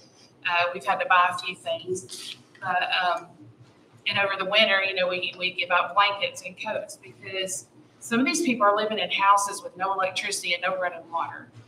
Um, I try my best to give water out if I if I have somebody I know that has no water, and so you know, buying a lot of water is not cheap either. But um, you know, we have a need in this community that I I wish that everybody could see. Um, living in a home with no heat, no water, no electricity, you know, they're out of the weather how as a kid, you know, get up in the morning and get ready for school and no water and no electricity and have to go to school hungry and pretend that they can focus on school and do schoolwork. You can't teach a child who's hungry or a child who's living in poverty that can't even get the necessities met in their home. So that's all we want to do is we just want to help these people. Uh, I, we, we went as far as like having somebody's electricity turned back on or water turned back on, but we don't get a lot of money. So that's, you know, we, we have to be real careful with that and make sure that we vet the people and make sure it's, you know, legitimate. I never give them the money. I always come and pay for it myself. Um, but that's just an overview of what we do. Um, very near and dear to my heart. All the money that we get in Loaves and Fishes stays in Loaves and Fishes. Um, you have any questions, I, I'd love to answer them. I'd love to see y'all come by and just visit us sometime. I've asked a lot of our uh, people that are running for office to come by and uh, see what we do, just to see what goes on there, because there's so many people tell me they don't know, you know, where we are, what we do, and um, so I haven't seen a lot of those people, but I've had a few come by, and their eyes were kind of open to what they saw there. Um, And I invite you guys to come anytime. We, you know, we, we start serving at six o'clock and we try to wrap it up by seven. And, you know, in, in the hour's time, we serve two hundred to two hundred fifty meals a night. Um, we give out anywhere from twenty to, uh, I guess last night we gave forty-one boxes out. So, um, and that's four nights a week. So, you know, we have some other places in the county that people say, you know, or this, that give out food. They give it out once a month. Um, and it's on a certain time, a certain day that people can't always make it. So we've tried to make it convenient that people can get there. Uh, people who come on bicycles and strap it all over their bicycles to get back to get back home. I have a man who walks with a little bitty basket and he's made wheels that put on it and he stuffs all he can in there and then he puts the rest in his pockets and his coat and, and he takes all that and walks back home for his family.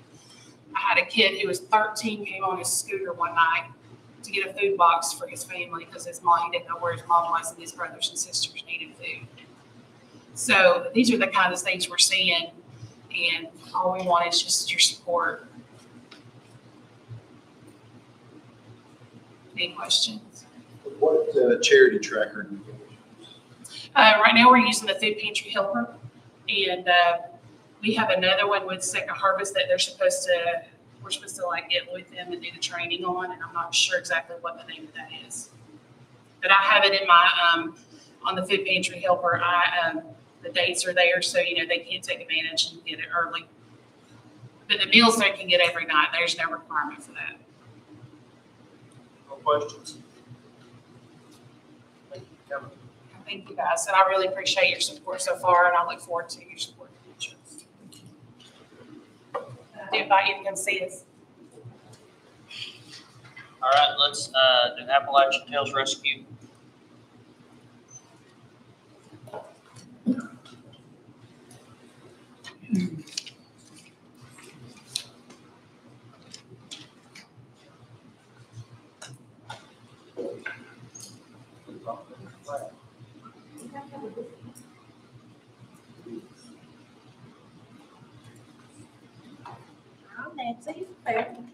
Tails Animal Rescue. This is Ono. Ono's one of our more recent rescues.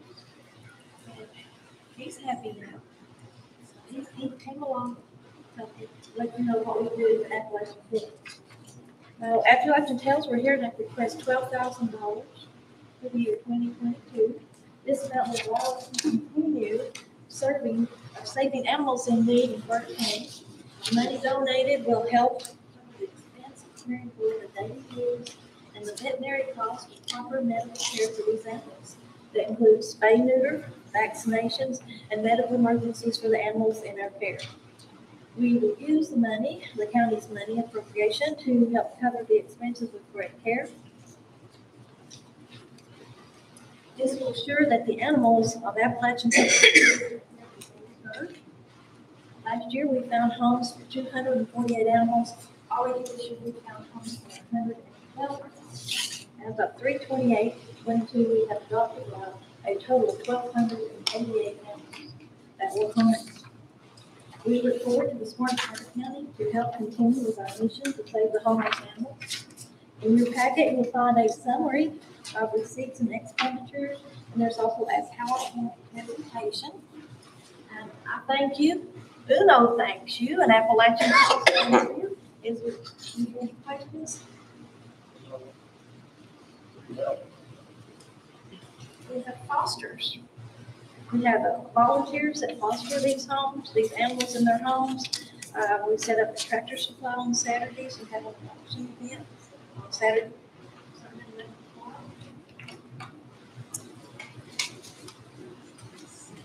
We do not charge an adoption fee. We have freedom of donations. No questions? I would like to point out that none of us are paid, including myself. I got paid. I adopted this little guy. We've got four people up here trying to adopt him, so you better run with him. There's not enough money in this room to get this job. It did start out as a foster, but I have three rescue dogs. I wouldn't sell any of them.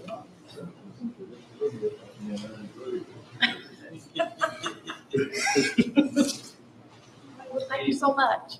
All right, thank you. All right, uh, next up, the Park City Development District.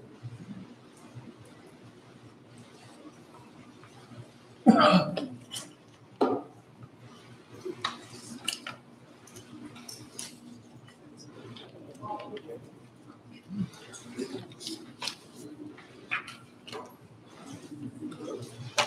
apologize, I don't have enough. uh, Do you? Them is, Okay. Yeah, there should be like three sheets stuck in the front of the TV.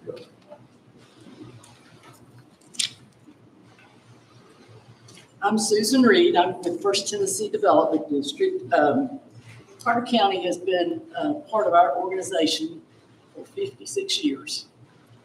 Um, We serve the eight counties in northeast Tennessee. Mayor Woodby is a member of our board of directors and our executive committee. Um, We provide a lot of services. Um, one of the things I, I'm sure you'll be most interested in are some of the grants that, that we um, are able to secure on behalf of Carter County and and Elizabethton. Uh, This past year, we were able to help get uh, $1.391 million uh, for the covered bridge and for TCAT, TCAT equipment. Um, We provide services for the elderly. Um, We we finance the, fund the meals, the congregate home delivered meals, homemaker services, personal care for low-income and elderly. We are court-appointed guardians for low-income elderly that don't have a family to look after them and provide um, decision, decision-making for their um, finances and healthcare. Um, some of the other things that we are involved in in help provide our housing. Uh, we do um,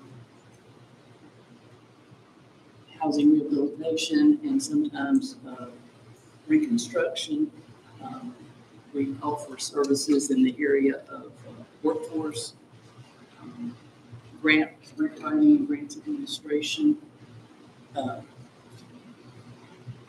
we are asking for just a little bit less money this year than we asked for last year. Uh, It's based on the population. Our request last year was for thirteen thousand two hundred and sixty-two dollars. This year, we're asking for thirteen thousand fifteen dollars.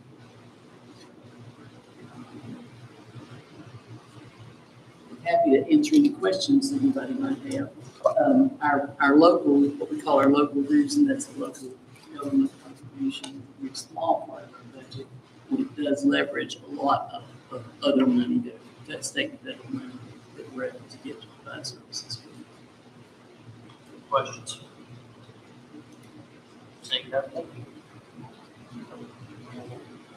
Oh.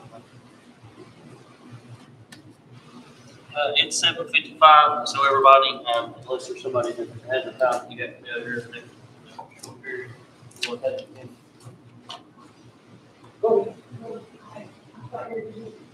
I'm so sorry. I'm the Elizabeth. We'll, take a ten-minute break, and we'll be back at eight oh five, uh, so everybody will come back in, then we'll be back started.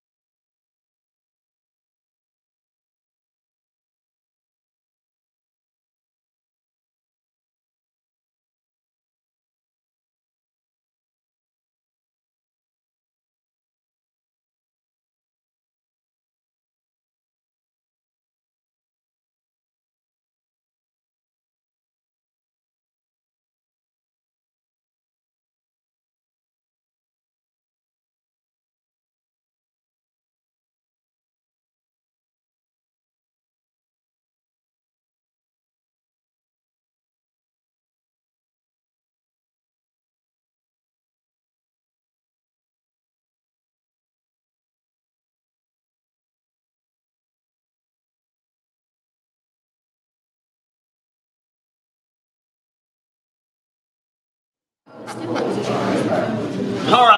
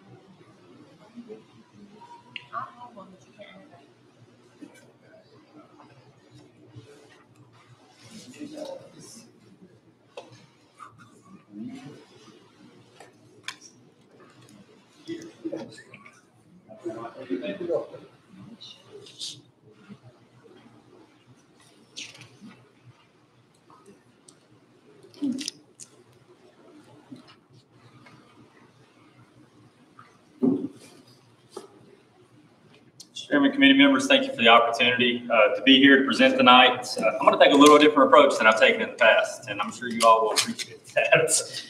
Um, This year's request, uh, last year we received 15,000. I'm asking for, 40. Quite honestly, uh, anything that Carter County would be willing to invest into this program, I would appreciate, and I think it'd go a long way. And uh, this year's request is focused on making an impact that affects immediate ROI to the commission, the county, and also, too, really focuses on the strength that Carter County holds tied to the quality of life and community attractiveness. To me, I think that's probably one of the most important things. Uh, I know a lot of people associate economic development with industrial recruitment. I got to tell you, though, when when you're trying to sell a house and you don't have a house to sell, it's hard to do it. Um, the fact that there's not a lot of available, land, no inventory here, it makes that job extremely hard. So a lot of time and effort's really gone in to think about some creative ways that we can ultimately look to bring value and uh, return investment and ultimately revenue back to the community. So uh, I want to talk a little bit about uh, the remote working program that we launched in June of 2021 in Johnson City, Tennessee was the pilot program.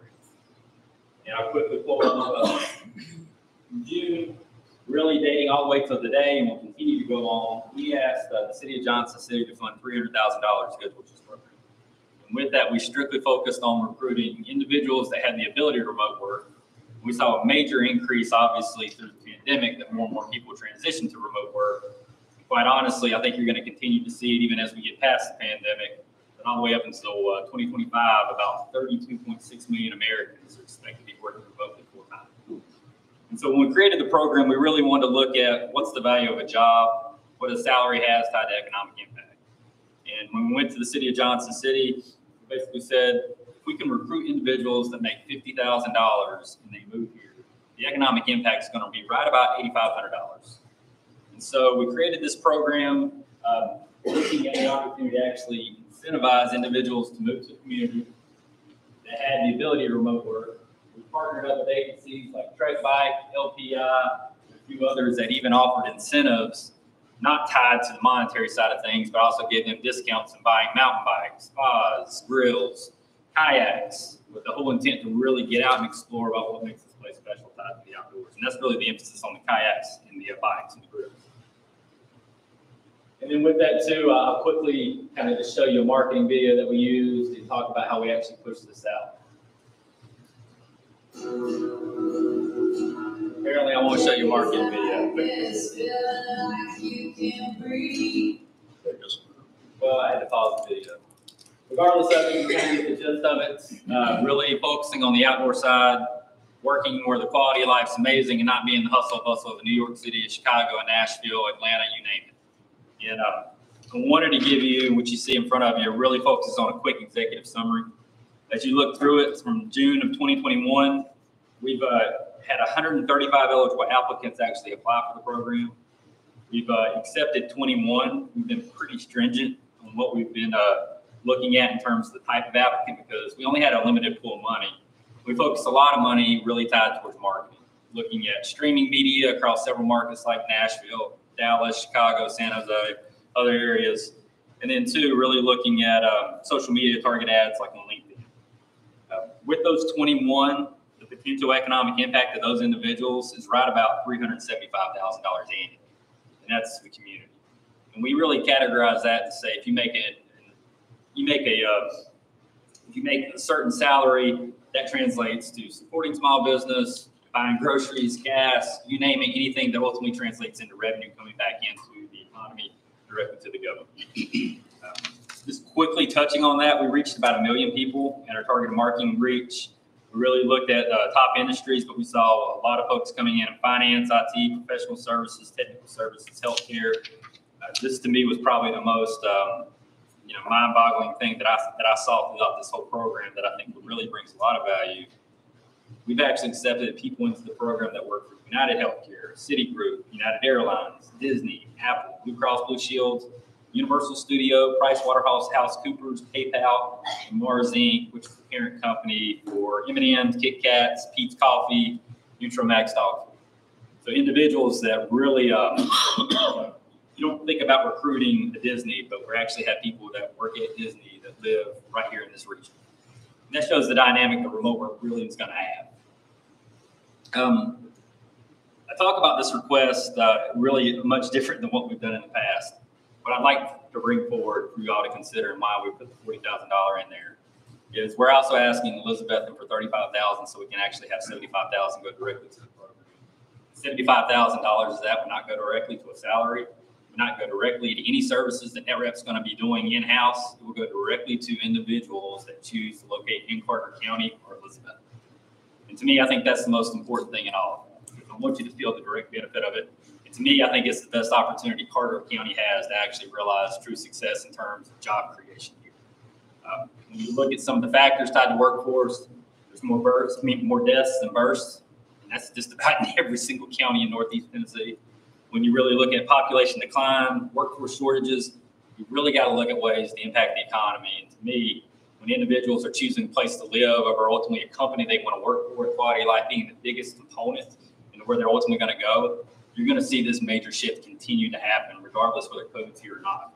People have experienced remote work, and it's a thing that's here to stay, and it's only going to grow. So I want to make sure our region's ahead of that, and there's an opportunity here that you can actually realize success. I know you may have questions about the program in more detail in terms of eligibility. I think that's probably a really important thing. You got to relocate to the area within six months of acceptance. Uh, you have to be a full-time remote worker. We have policies in place where basically we get, you name the company, Disney, Apple, Blue Cross Blue Shield, they have to verify you work for them. They have to verify your salary and they have to verify you actually how long you've been employed there. You have to be at least 24, uh, 24 years old. And we also do background searches when we see and minimum, minimum income of $50,000. Probably the biggest thing that I've seen, and I'm not kidding you, the average income of the applicants we've accepted is ninety-eight thousand dollars. That's huge. That's something that I can't do in terms of when we recruit an industry to come here and set up shop. A lot of those jobs are averaging about thirty thousand dollars a year. When you think about the impact that comes directly back into the government from that standpoint, it's not property tax driven. Doesn't even come close to what this program can actually um, bring forward. Yeah, looking at the forty thousand dollars, if you include the seventy-five total, that includes Elizabethton's uh, amount into that, we anticipate we'll probably get about twenty to twenty-five remote workers. And to me, I think you really look at the economic impact, probably right in line with the twenty-one we've already accepted of about three hundred seventy-four thousand dollars. You may have any questions about the request? And I'm happy to send out additional information if needed. Mitch, I know you've got, I mean, the majority of your funding right there, for I guess for probably this program is City of Johnson City, Washington County, and Jonesborough. You've Taken seventy-five of Carter counties with Elizabethton, and how will you promote this program for, for people to move to Carter County or Elizabethton? Oh, without a doubt. Well, the way I really look at it, Ross, um, Johnson City Metro is one when you're really on the outside looking at it. Having that name and that identity, I think you're going to have to still stick to that Johnson City piece and talk about the Metro and the amenities. A lot of that's what we've done tied to the outdoors. I think the piece that we'll do differently is that people have the option that if you can choose to look at the housing stock in Carter County and you find a house there, you're eligible for the program. And the promotion comes right along with that. Right now, we opened it up really with this last year at Johnson City in Washington. We want to grow this. Quite honestly, I think this is a nice trend. Um, this is a nice uh, opportunity to really come into a community like Carter County that offers a lot of value, and I hope it really allows us to even think about Unicoi County, Hawkins County, Sullivan County in the future if we see some I think we will, uh, since June again, hundred and thirty-five eligible applicants. You said you had one million reached. What was the funding that was used to, for the one million? What was the total amount of funding for that?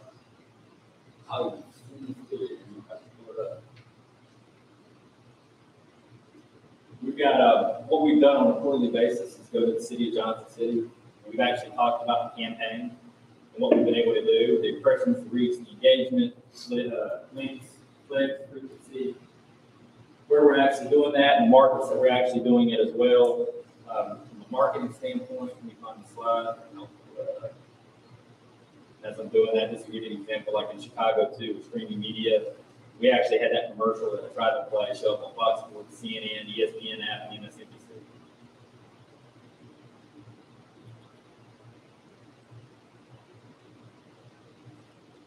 So here's an example, like phase three, uh, I'll get that exact number, I'm sorry, I don't have that right now.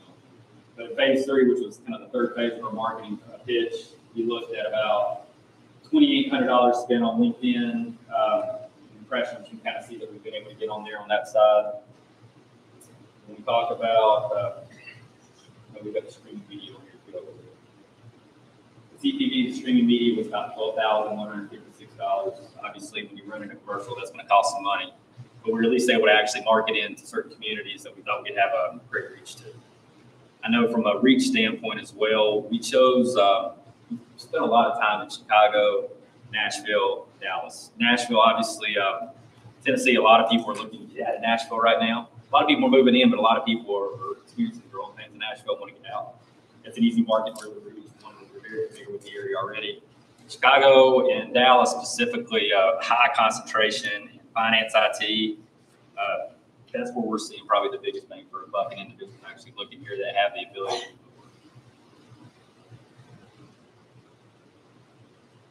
I'll get you, uh, direct total spend for the entire thing though, that's what we set up the marketing side. I go back to say this though, uh, the marketing piece, it's allowed us to get some accolades. We were actually recognized through LinkedIn, Ads of the World, CNBC, and Graphis Gold. We actually won an award through that. We're going to be actually, uh, we're actually going to be uh, submitting the program on behalf of the, International Economic Development Council for consideration for an award as well. But I do think it's one that you're starting to see some communities tap into. We just want to get ahead of the game.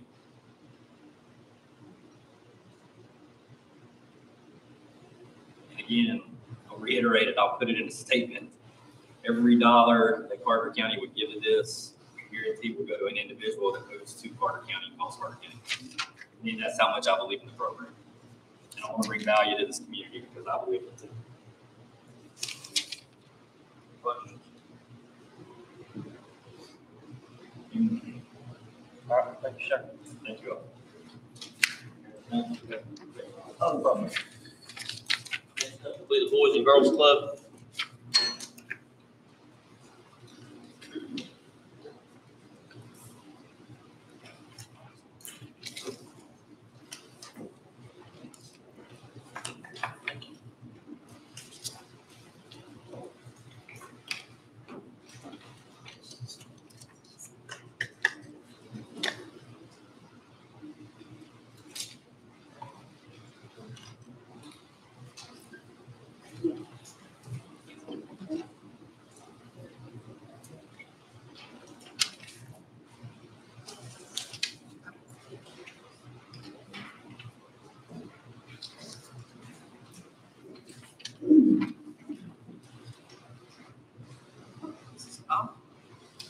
Um, Hi, my name is Shelley Parham, and I am the new CEO at the Boys and Girls Club of Elizabethton.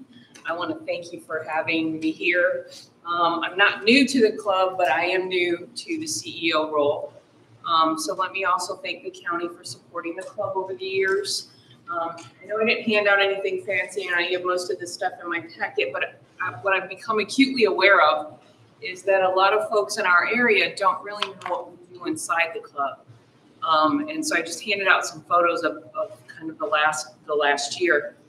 Um, we are in 2022, um, I mean, I'm very proud to say we're celebrating our 75th anniversary. So the Boys and Girls Club and, and part thanks to the county, um, have been serving Carter County since nineteen forty-seven, so I'm, very proud of that.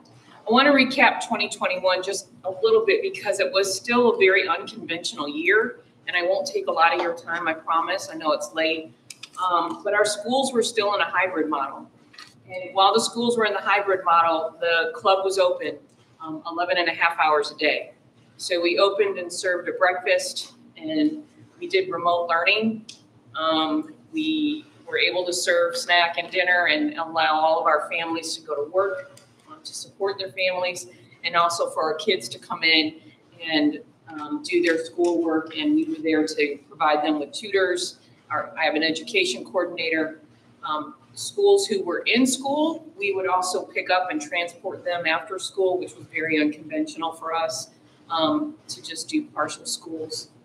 And then um, we did open a second club in 2021 in the Stony, in the Stony Creek area um, as we were still uh, working under the CDC guidelines and only being able to serve so many under social distancing guidelines as well. We wanted to serve more people and we wanted to serve that area. And so we did open a second club in the, in the Stony Creek um, area. Um, we, our, our, your funding um, assisted us in, in handling the addition labor cost to the two sites as well as transportation and everything that goes along with the supplies. Um, your funding goes directly to our programming and to the members and the families that we serve. We're on track this year to serve over 425 youth. Um, this is more on track with normal year. Um, our summer program opened and will open again this year in regular fashion. Um, we uh, we transport from nine different county schools. Uh, we have a fleet of three buses that we own, and so the maintenance and the care of those buses is very important to us being able to pick up from all of the schools that we do transport from every day after school. In the summer, we'll use those buses for field trips and for other educational purposes. Um, focus in this next year is on our teen program. It has doubled. I don't know if that is anything to do with the pandemic, but post-pandemic, our teen program, our, our ADA has doubled. Um, we're approximately 17 to 20 teens every day, so we're expanding that designated space this year so that we can serve more teens. I love that we're a safe place for them to come after school, um, keeps them off of our streets. And also, we're providing them with um, uh, programming inside. Um, we do a job development program. Last year, we hired four of our teens to work inside the club, which is a really great program because it allows us to give them some of those work ethic skills and those job skills without them, uh, allowing them to maintain employment as well.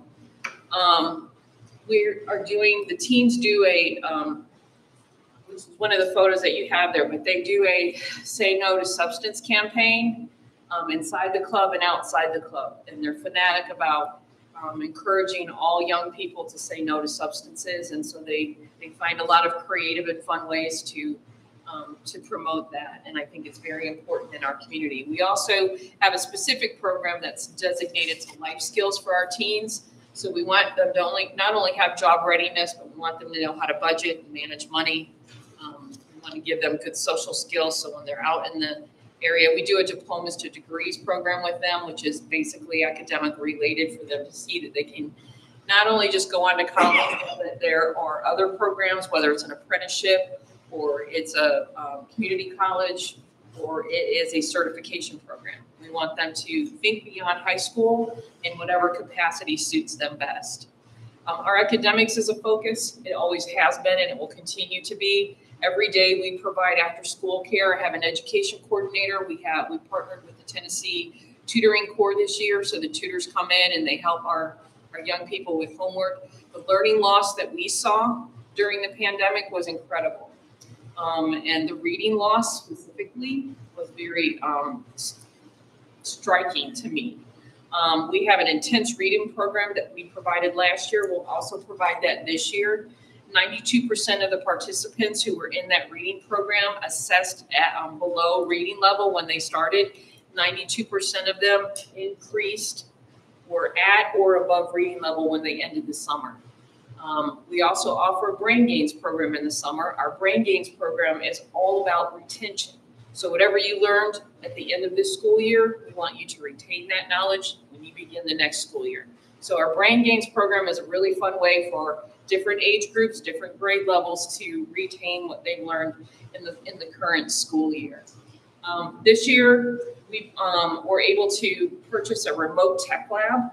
Um, what this is basically is two charging stations. We have what 65 different Chromebooks, and they charge all the time. We are opening our doors to our members' parents and families so that they can do tax night. Come in and do their taxes. They can use our Wi-Fi, our broadband, as well as our devices. Um, and we also am opening it to um, job seeking um, and anything else if they need to make a medical appointment or whatever they may need to do, but they don't have the broadband or the internet access that we do or the devices. Um, found as a remote learning site, a lot of our families were sharing devices or they didn't have any. So coming into the club and being able to use our devices in our remote lab has been um, very helpful, I think, to our families. We served over 24,000, we serve over 24,000 meals a year. So every day um, we serve snack and dinner. In the summer, we serve breakfast, lunch, and snack. Um, so we, we want to make sure, and, and our food is prepared on site. So dinner is a hot meal. It's a hot meal where our two chefs are, are chopping up lettuce. Um, they're boiling noodles. They're cooking, you know, um, in meat. I mean, it's it's a meat, vegetable, um, grain, and dairy in every meal. Um, so I'm, I'm very proud of our food program as well. Um, we are an open serve site, so anyone who does need food or needs a meal, um, we will provide that for them. They can just come into our door. They don't have to be a member. We're open uh, those 11 and a half hours on all snow days, holidays, planning days, so parents, our families can still go to work, do what they need to do, and, and we'll take care of their kids on those days that they weren't expecting to have to take off. Um, we do all of that for ten dollars per child per week. So for ten dollars a week, a child comes to our facility um, and receives after-school care, enrichment programming. We do STEAM, so we have the arts, we have the sciences, we have social, you know, recreation. We have two full gyms that we utilize, and we also um, provide um, and work with Parks and Rec, but we do provide our own community sports programs, um, sports athletic or community athletics. This year we added soccer and flag football. Um, so I'm, I'm, i believe in athletics are very healthy for kids um, and their growth and their development for all kinds of reasons, um, specifically their social skills. Um, so we do all that for ten dollars a week. Your you supporting the club allows us to keep our fees low. Um, in the summer, it's thirty-five dollars a week. And let me just add that we'll never turn a child away because they don't have the means to pay. Um, those are just our fees. And the support from the county allows us to provide these services at that low, low cost. Any questions for me? Terrific. Great. Thank you. Thank you. Next, we'll have ARM.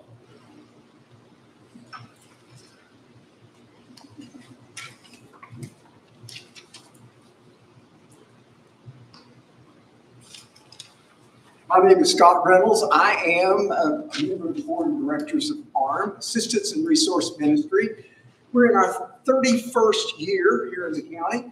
For those who don't know, in 1991, the, the Carter County Ministerial Association said, we're getting embarked, embarked, uh, embarked on by people coming to our churches needing help and help and help and help and help. We feel like we're not doing this equitably. And guess what? this organization came into being uh, so that we could distribute the resources that the county uh, churches had or uh, the county is a, in any way could make that fair. Um, we come to you asking for the same funding that we asked for last year at those $7,500.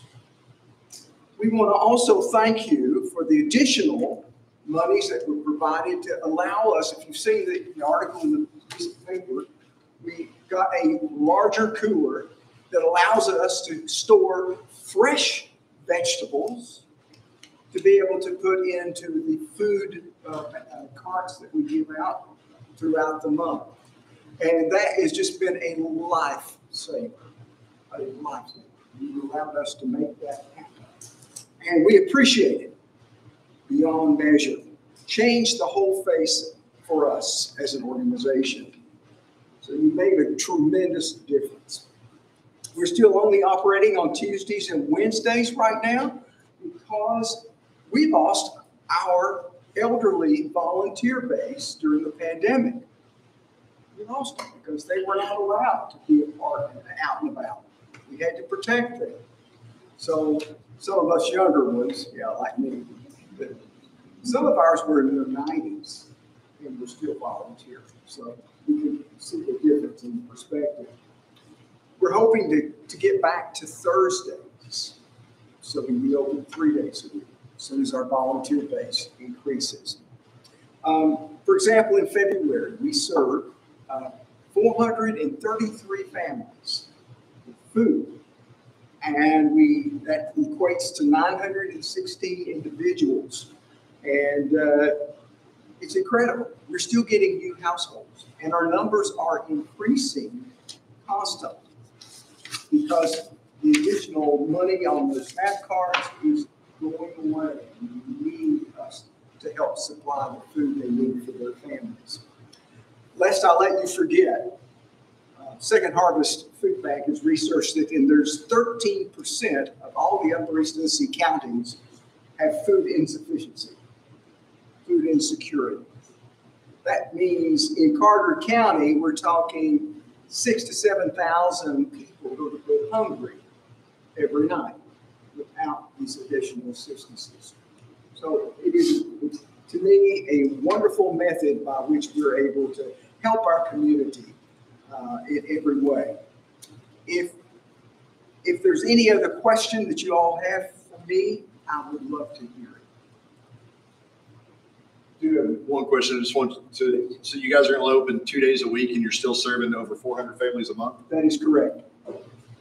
There are days that are lined out to the street.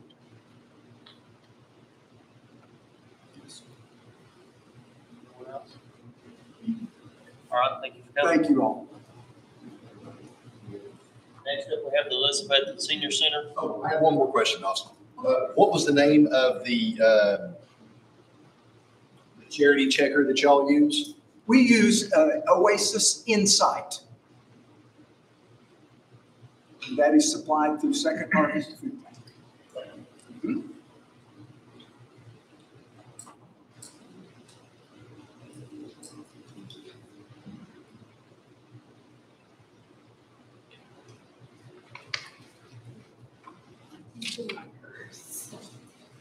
To be. Um, my name's Brittany. I um, am the new director of the Elizabeth.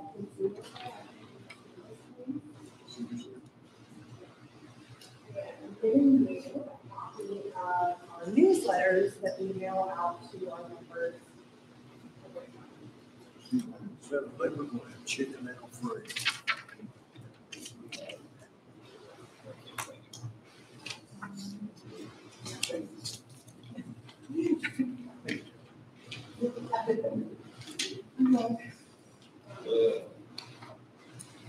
So as you, most of you know, the Elizabethton Senior Center has been around for over 50 years. It actually started in a house on the current property in 1976, and it developed into a full-blown center in 1981. Um, And Miss Kathy, I think, was the director for over 30 years. I worked there for 30 years. Um, The center services both Carter County and Elizabethton. Um, we, last year, we had a bit of a, a slower year. Um, we served 398 members. Um, we have over 500 members, but um, the pandemic kind of affected us. Um, so we are, on average, seeing 45 to 50 people a day coming into our center. Pre-pandemic, that was about 75 to 80 people. Um, 58% of our members are actually Carter County residents, and 42 of those are Elizabethton city residents. um, at the center, and you guys are more than welcome to come. I'd take you on a tour. Um, you can sign up when you're 55. Um, membership for 55 um, to 60 is $30, and 60 and above is 15 a year. Um, to our mission, um, at the center, we provide a lot of activities and programs. Um, one of the things that we do that I'm really proud of is we partner with the yoga firm to provide two certified yoga instructors twice a week. Um, we have a line dancing instructor, um, and she's really picking up on her members participating. We do aerobics. Um, I've just started bingo back every um, Friday, and that's a very hot um, event. um, and we, and any holiday, I like to do a theme bingo. But um, we also have a fitness room um, with a lot of fitness equipment and weights, um, and we have those regularly serviced. Um, our members love our fitness room, and we're seeing you know close to 20 people in there every day. Um, our members also enjoy a billiards room, two desktop computers, a small library, and a large commons, commons area for daily lunch and events. Um, the center values um, increase in awareness, preparedness, and connection to needed resources in the area. Um, I know Red Cross was up here. Um, she had somebody come out and they did a uh, safety course and they um, told everybody about their smoke detector program. Um, we had a Parkinson's disease class today. Um, and I partnered with, you know, we all we all partner with UT Extension, Legal Aid to offer classes on estate planning or nutrition. It's it's really anything the members are interested in, and and, and they will tell me if they want something, and it's my job to kind of you know hear something and find it and, and bring it into the center for them. Um, we also have, um, we work with Area on Aging to provide evidence-based workshops, and that can range from living with chronic conditions to diabetes education. Um, and we also, Kathy, Kathy did a um, support group for grandparents raising grandchildren that I would like to start back. Um, they had to quit because of COVID. Um, we also host the SALT Council, um, which is seniors and law enforcement working together. Um, and we're going to host a health fair um, come the fall, and we're also doing an elder abuse awareness bingo event in um, June. So, also at the center, we partner with HRA for the Meals on Wheels. And I'm really proud of the meals because during the pandemic, and Kathy may have told you last year, they never stopped coming in to serve the meals. They always came in to make sure the meals go out. Um, on average, a week, Carter County sends out 590 meals a week, and 42 of those a day go to rural Carter County areas like Hampton, Stony Creek. Um, and right now we're having a lot of trouble keeping volunteers, kind of the same issue that ARM is having. Um, a lot of our volunteers, one of our volunteers is 96 years old. Um, yeah, he's dedicated. Um, but we really need volunteers for our meals because that makes the difference. You know, when people get meals, they often make two or three meals out of that one hot meal. So I want to see that our meals continue to go out. They're very important, especially to the rural areas where people have difficulty Um, and our next thing is we partner with NetTrans. So if they become a member and they don't have transportation, um, NetTrans, um, we, we get funding from Area on Aging to help with the NetTrans um, to pay for their tickets to and from the center.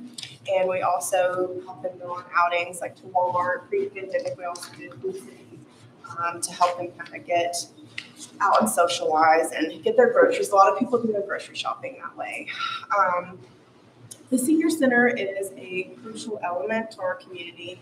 Um, it's one reason I took the job. Um, it just I'm, I'm, passionate about about seniors in the community, and I think when I saw the Senior Center, I didn't see a job. I just I, I saw my life's work, something I could do forever, and it didn't feel like work, and it doesn't. Um, and I really appreciate, I know you all have been a big part, you're 23% of our funding, um, and we're asking for the same amount of funding. Um, I know that last year and, and, the year before that has been pretty hard economically, but um, we are a safe harbor for our center. We protect people from abuse or scams. We educate them. We help address issues like malnutrition, depression, um, those with financial need. Um, any of our staff are trained to help fill out a life application or a SNAP application. Um, I've called APS several times myself on, you know, instances where I felt like I needed, it needed to be addressed. Um, so all of the staff, and there's not many of us, um, we're going to work with every individual to make sure they're safe and their needs are being met. All right, does anybody have any questions?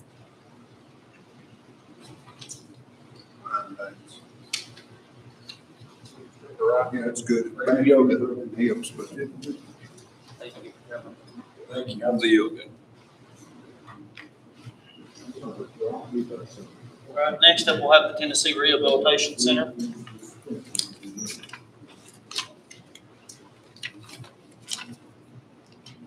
you know, they have free dance dispensary every men's room. Yes.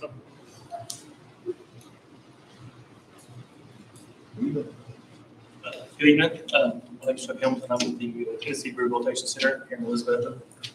Um, I'd like to thank uh, Carter County for their years of support. Um, they've supported us for our program for for years, even before my time with the uh, program. Um, For those of you you that don't know, um, uh, individuals with uh, disabilities obtain employment and uh, get needed training they need to be successful in employment. Includes things like uh, safety training, soft skills training, um, resume building, interview prep, uh, application assistance, job coaching. Um, We help uh, individuals study for learners permits, um, CDLs. Um, We help them obtain IDs if they're, if a disability keeps them driving, we help them obtain their IDs.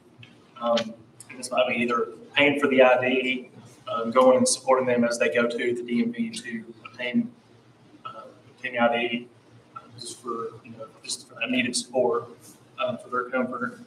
Um, we provide post-secondary, uh, training. Um, In this program, we, uh, help them identify different ways that they can find funding to help pay for their education. Uh, we help them get to know their schools, um, escort them maybe on, you know, school tours that the schools provide that they have a familiar face that are with them. Um, We are currently working on a program now that we're we're loosely calling a supported training program. Um, We hope to extend this out to several different, uh, different areas of, of work. Right now, we're going to be focusing on CNA training. And what this means is we're going to be, with our contacts with Ballad Health, we're going to partner with Ballad Health for CNA training. And our role in this would be to provide uh, studying and test prep um, for our customers, um, coaching within the classes. Um, Part of that partnership would be uh, them allowing us to attend the classes with our customer. Again, just provide maybe emotional support and for us to get a better idea of what they're, what they're learning to help them study better.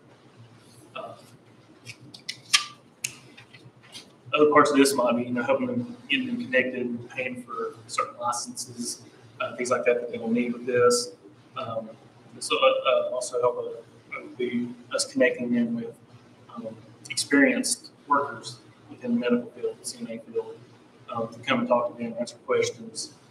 Um, And we also, be providing media materials. This may be uh, scrubs, uh, any kind of thing they might need for, for the CNA training for the, for the position.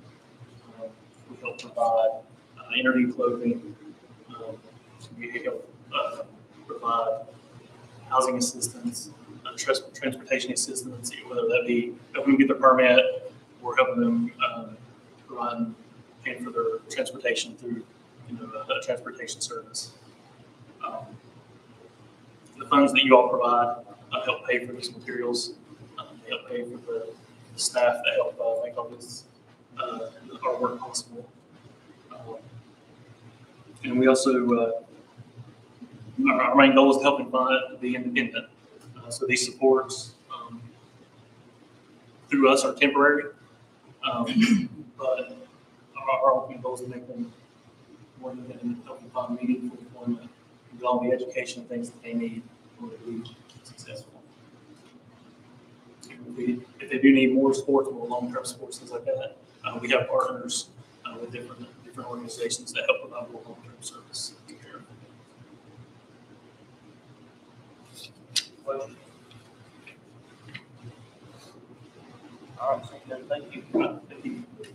Next, uh, is there anybody here from First Tennessee Human Resource? Uh, Carter County Soil Conservation.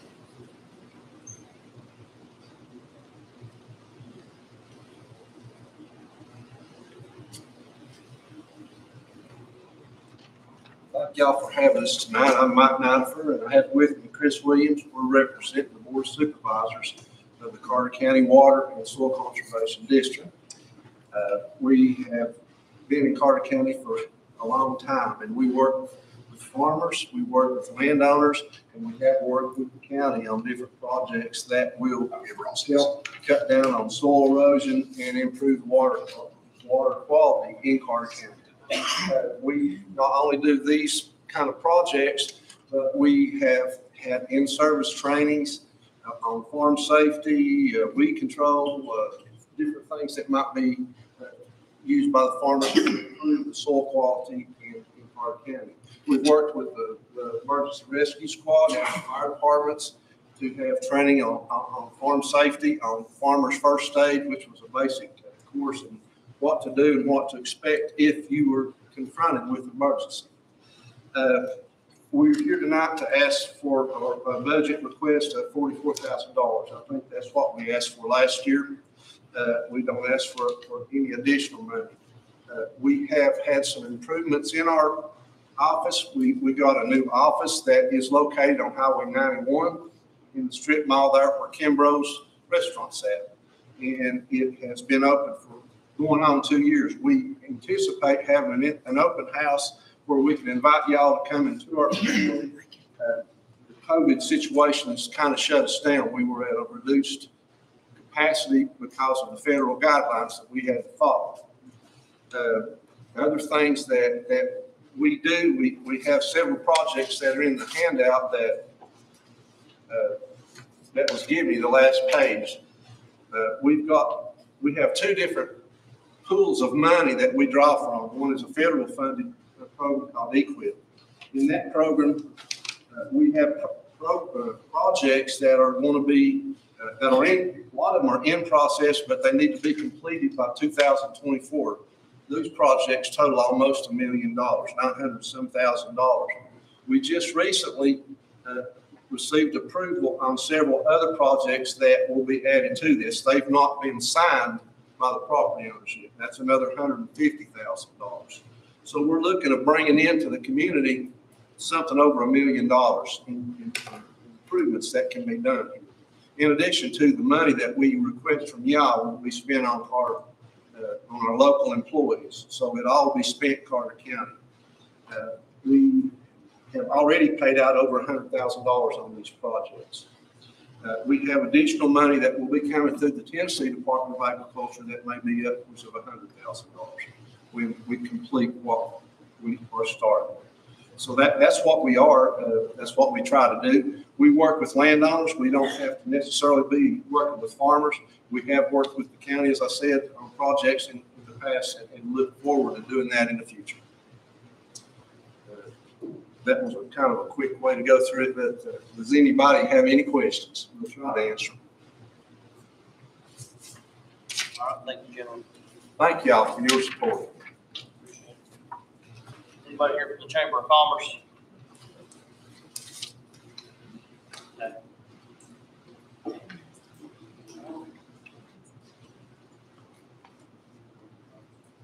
Uh, All right, uh, we're gonna do the Carter County Emergency and Rescue Squad.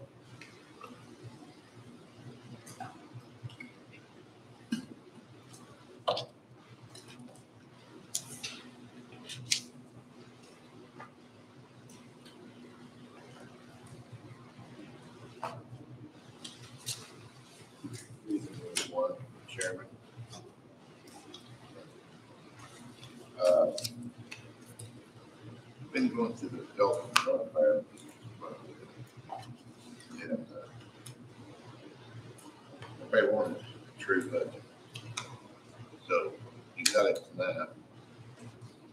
Anything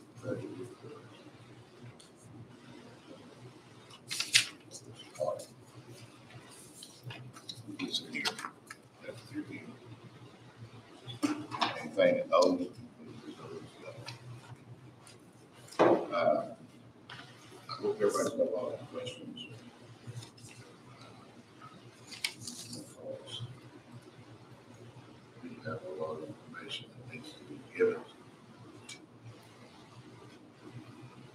biggest problem is staffing issues, money. keeping up. So I have asked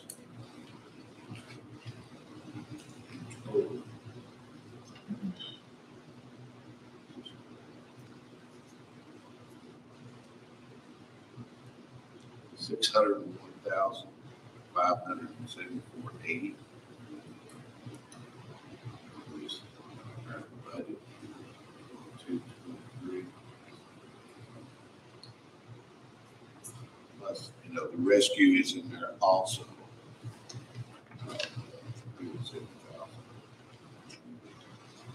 So, moving three, five, seven forty-three last year to four point one two five nine five eight. Every bit of the money that if we get the increase is going salaries for our employees. Uh, I've got to be competitive with all of the counties. And At one time I thought we was there close, but Sullivan County and Johnson City is already up it again, so we're low on. We're Losing too many employees. If we don't have your help, we're going to be in a big problem. It's the money shortage. If you'll look, this paper here is what we are right now, the salaries. Way below. Our rate for the basic is fourteen dollars a basic.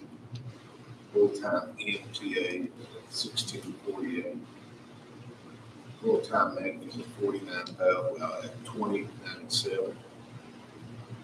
If you look at this copy right here, it's a four-year plan. It Shows the raises each year. You listen, reoccurring. This one. This is to provide three ALS trucks, two BLS trucks, right now. The next budget is three ALS trucks, two BLS.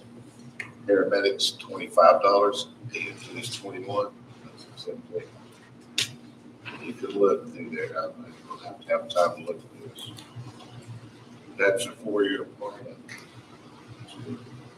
It will keep your certain rescue grant, police, and paramedics running. I'm way understaffed.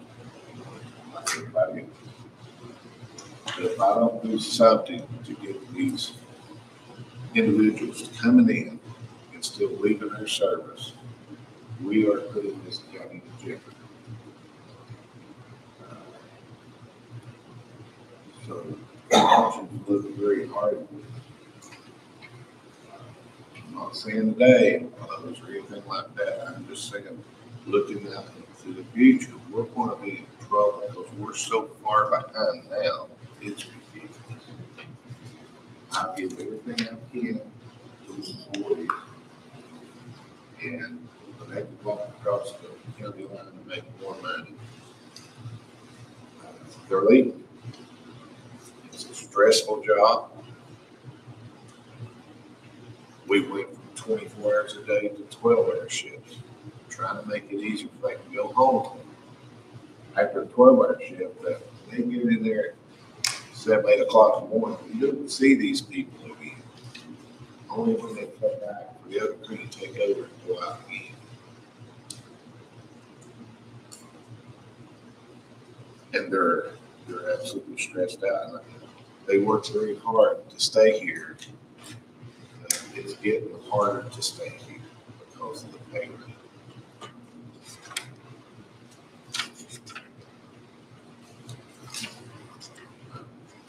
Yeah, I'm gonna let Nancy talk to you a little bit about this. She's more into the collections and all this stuff. And we, it's, I want you to numbers that We don't get paid.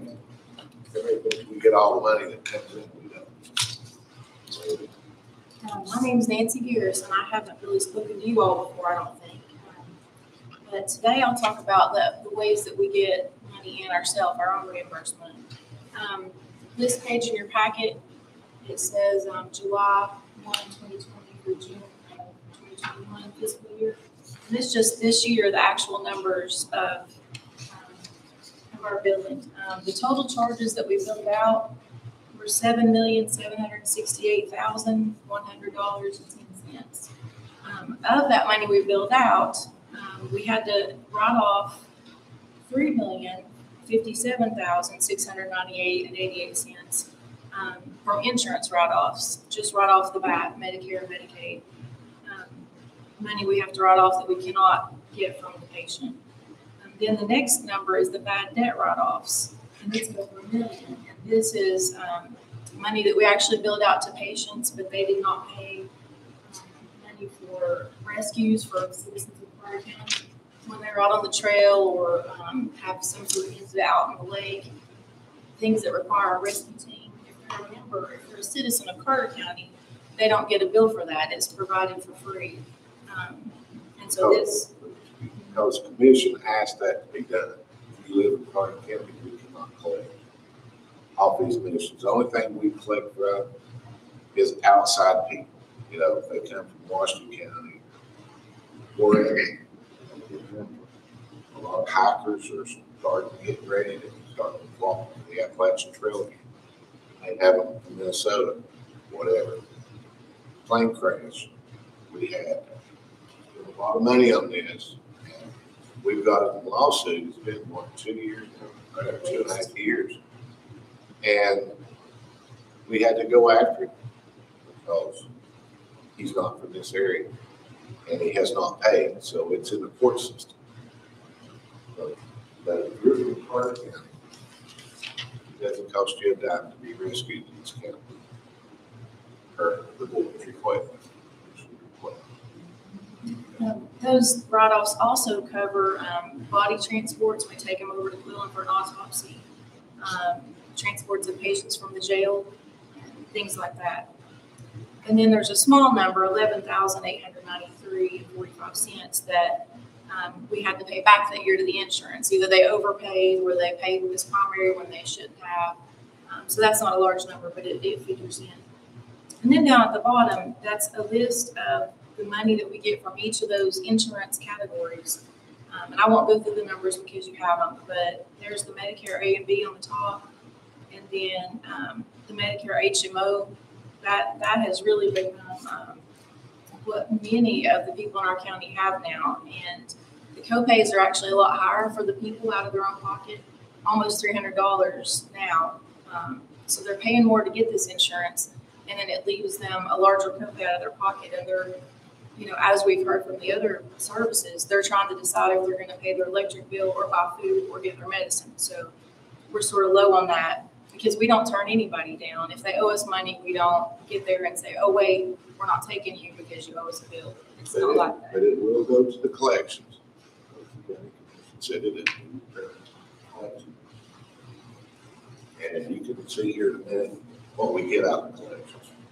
Yeah, toward the bottom of that same page, um, the number of trips we sent for that year to collections.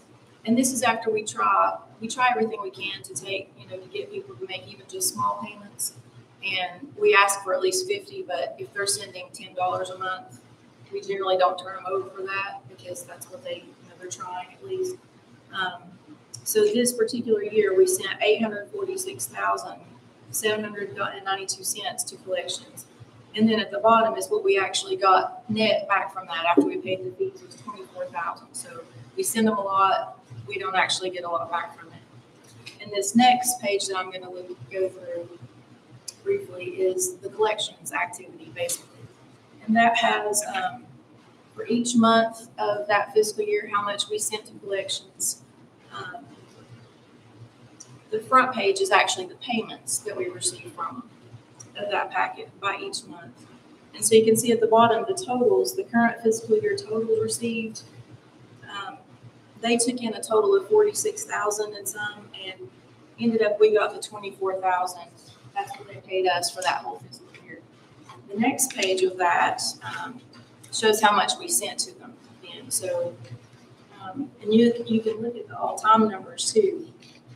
All-time total, we've sent them fifteen thousand, four hundred forty-four calls.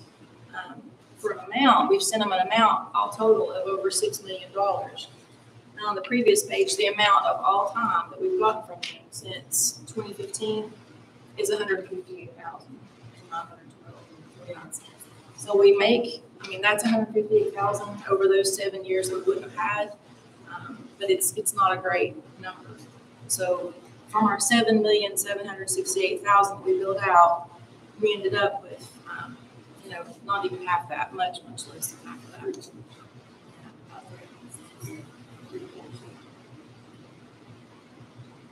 We have a lot of people in this county that can't afford it, and I understand. And we have never, ever pushed anybody. We still get ten dollars, five dollars, and I've allowed it. I've, I've told the collection agent they could not hold fifty dollars. Try to make it easy. But when you spread that out over time, know, we may pick them up eight or nine more times in their life or whatever. And they never pay. So basically, you're paying for somebody to sit there and make these emergency calls, and you hope you get paid. You go pay your electric bill, if you don't pay it, guess what? They come and cut it off, it costs you a fortune to put it back on. If you didn't have money to pay the bill, you know, I ain't got money to pay the fine and everything else. But I've tried to keep that in this county. All I want to do is survive, make it even at every year. But for, out of this, of this budget year, right now, I think made budget. Five, four. Three to six times. And you're talking major money that builds up at the end of the year. Because I don't have a tax base. I, I go start all over. I estimate that we're gonna make this many calls. We don't make them, we don't get the money. Then here I am trying to scramble to make it work. So guys, it's very important. That you look at this very hard. Forty years in the service, twenty-nine as director, I can tell you right now, it will fold if you ain't careful. Now, There'll be people come in here, they ain't gonna do what, I've worked with those people. They come in, they just take the transports and they don't take nothing else, they don't do nothing. You lose your rescue, that hole in the yard. I mean, I've got twenty-four volunteers that I keep up, keep highly trained, as the weekend. And not counting my medics, we gotta go to college to get here. It ain't like it was forty years ago when I got in. You went to a first aid class and then you went to an EMT class, it was maybe forty hours.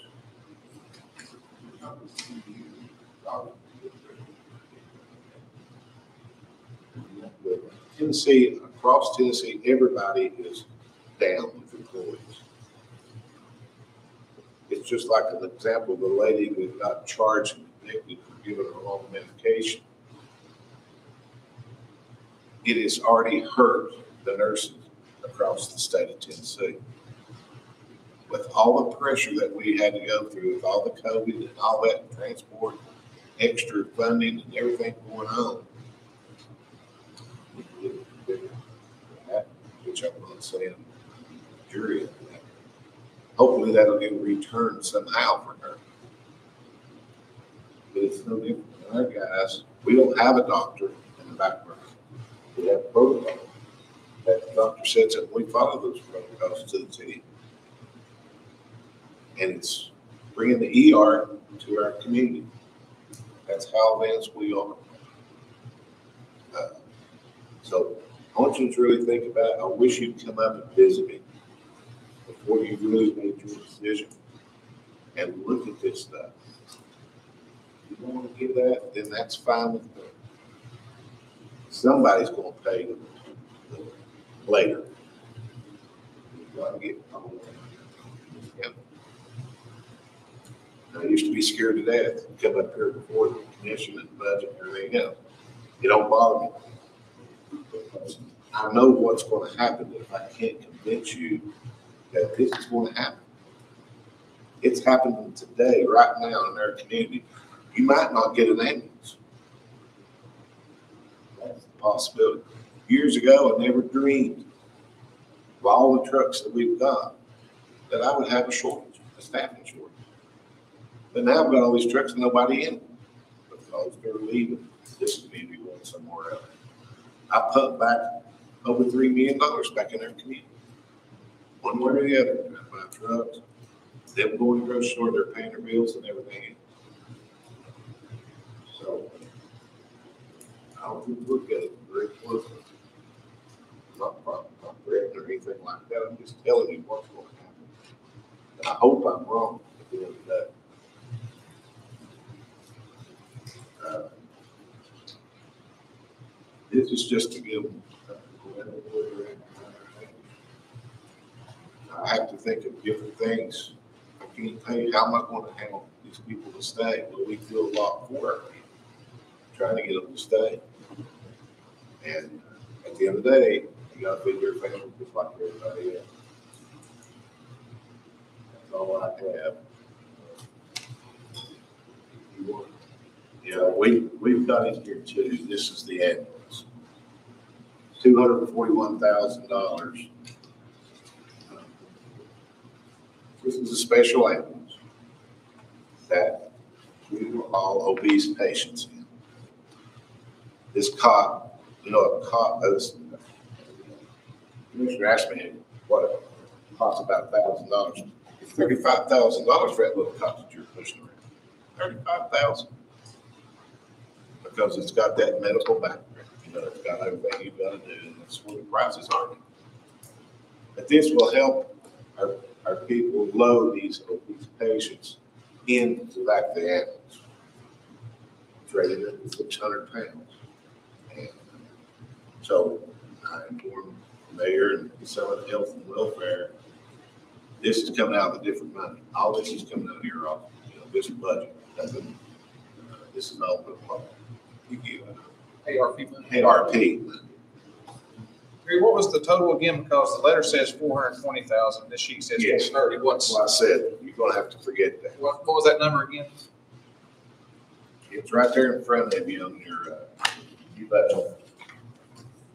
Right here. You do that, that's fine.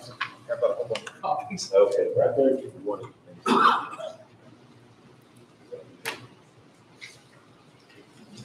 Yeah, that's the old, that's the old copy, that's, uh, right here, what I gave that before you know, everything. That's why I said, forget about the other. I hate to do that to y'all. But never too late. Sorry, I'm sorry, I can't hear. I'm sorry. I can't hear what the actual request was. Did you get your copy? Four thirty, is that, no, it's at six hundred. Oh, that's the other. Here's the deal. You say four million, one hundred and twenty-five thousand, it was a packet altogether. I handed you the packet out too. So I'm gonna ask a question, and you can probably answer this as well.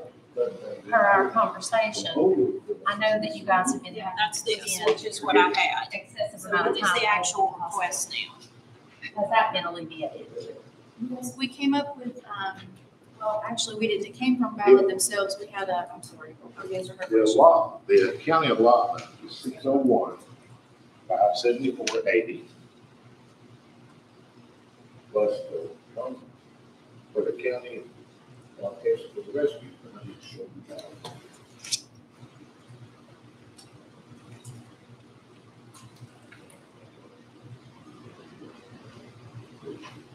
that. Why am I on there, the total amount, rescue, No, but it's the one seventy plus the, yeah, it's right here. seven hundred and seventy-one thousand, five hundred and seventy-four eighty. Get that? Again, All right, it's seven one seven, eight hundred thirty. Yes, and that's staying the same as well. Uh, The other increase was all just. So the rescue stayed the same, just the ambulance This service. stay the same. It'll the same. And this is gonna give my side. And, you know, I have to say, a lot of, several of our people that are highly trained in rescue, I have to pay them too. Uh, That I have the managers, making sure everything's done correctly. We was talking the other day about the gentleman up in North Carolina got himself in the road, went over the falls, that was his last time he ever been over there. Died in the uh, fall. He had trained professionals there, to research and make sure that their top knots and everything else is tight correct. And he lost his life. That's why I pay money to people that are highly skilled and that does their, does their job out here.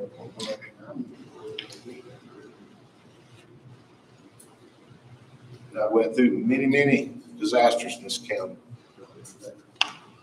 Snow to floods to straight line winds, everything but. And I've done it on what I had in my budget. Called up. That's where we're at. I'll ask any kind of questions you got. I did, you know, our conversation about how the extended stays that you guys were having to stay at the hospital. That's what I want to know. I mean, I- I'm not in, I'm not in favor of helping Ballad a whole lot. Well, They're making money hand over fist. it has slowed down a lot because what we've done, we sent a memo to Ballad Health. We're at fifteen minutes, it, it is green.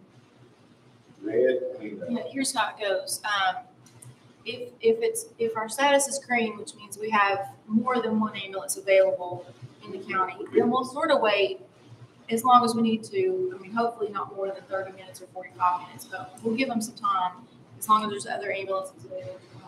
When we get down to one ambulance, um, that's sort of our yellow status. And that means there's one more ambulance available, and so they can stay thirty minutes if it's in that situation, because there's another ambulance available.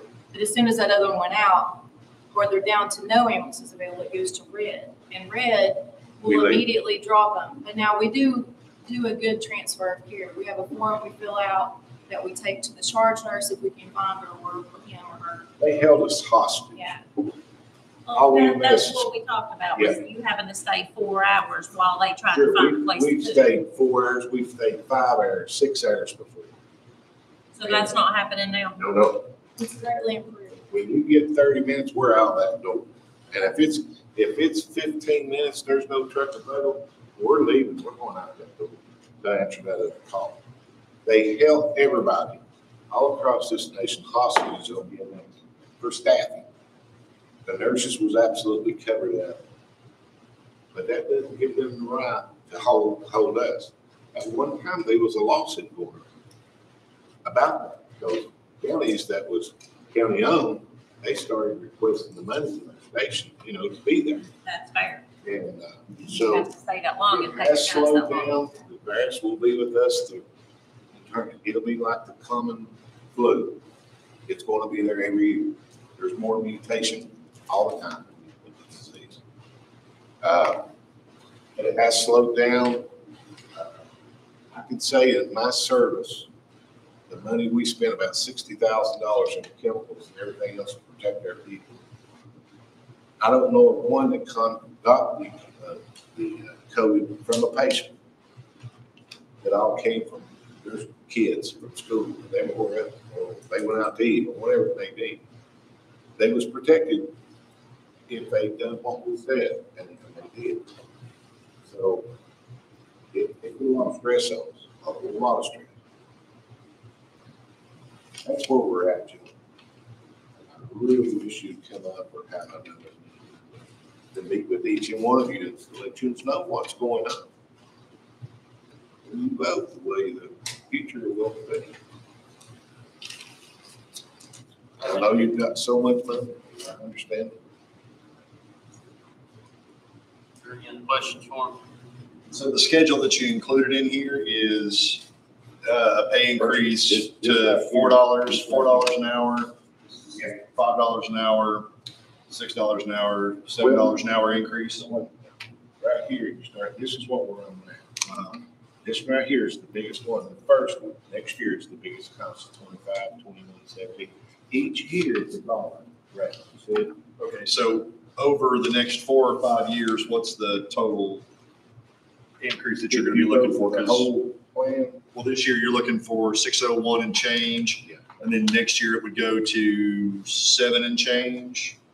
yeah, well, is that right? It's three hundred thousand, so it'd be nine hundred thousand next year. Maybe I've got my auditor, Yeah, I've got it right here. she's got it right now. Um, The first year is the biggest increase that we're asking for this, you know, this coming year, because we did just lose one to Washington County about three weeks ago, and then last week we lost one to hot tub company in Johnson City to do inventory, because they can make more doing inventory as a hot tub company than they can work, than they can make being an EMT. And that's after we've already raised our pay to be so competitive as we can. Um, Okay. yeah, the first, the first page of this is what we're paying people now. The difference from the next year, The next year, the difference, um, we're at, it's three hundred and fifty-one thousand more. Yeah. So the following year, you'd be asking for nine hundred and fifty-five. yeah, if they can put that together. Basically, this year we're asking for seven seventy-one, basically, about seven hundred and seventy-one thousand. Next year, we'd be asking for eight hundred and sixty-two thousand and some change. The year after that, it ends up being nine hundred and fifty thousand. And then finally, by the last year, by twenty twenty-six, if we continue to increase, it'd be a million thirty-eight thousand If, overtime. if we get raises, Medicare raises our rates for transportation ten years. I don't care to take that, that part of it. and decrease What you got. But in care and Medicare, we've got bills all over the place in Medicare. DC. And, you know, to get something passed is like four years out. We gotta do all their studies and everything else. Uh, You understand, I'm just trying to work. You, you just keep of money and it raised up and all this other, then I'll come back to you and say, you know, this is what I'm getting this year. This is the standard now. You know what I'm saying? And it won't fluctuate. But it's gotta be there. That's what I'm curious about is, is if we do raises and it still doesn't help find staff, then what? It helps, you know? It helps a lot, but, well, if you don't, people are gonna continue. They're not gonna sit here, make that kind of money. What, when do you find out if you receive those salaries or not? Dave? It could be next year, it could be the year after, we don't know. I mean, we're at the mercy of TennCare and Medicare. You know, I've been at TennCare for many, many years. Because it's federal money that come down. Then they had a guy out of Georgia running it. You know, why would you have somebody in Georgia run a ten care? When we got people here in these jobs and everything else. But they drop us down so much in from our costs, we're not really making much. I mean, we, we probably ain't making money. It costs us to run.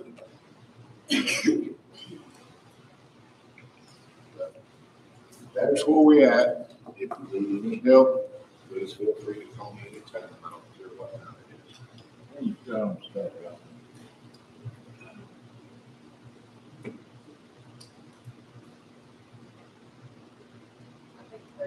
Thirty-two. Well, I think that's good with that. Uh, What's you? I used to have about fifty-eight employees. Yeah, as far as to staff the trucks fully, we've got four teams. Um, we need six people on team, and right now we have two openings, two openings, three openings, and three openings. So just to staff the frontline trucks, we're down ten people. This, this, right here is, if we had ever cut every part of it, done. I the actual, if everything was full, that's what it costs. And hopefully, if we can come with, money, after, they'll start coming in and fill those places. That's what I'm hoping. But Guys, I'm telling you right now, if you ever gonna inside, you call for an you want it right then before you hang up. No different than the police and the fire department. You want them at your doorstep. It's too late. It takes me twenty-five to thirty or fifty years. Well, I don't have a truck available to get there. One time in my life, I was very started with this program.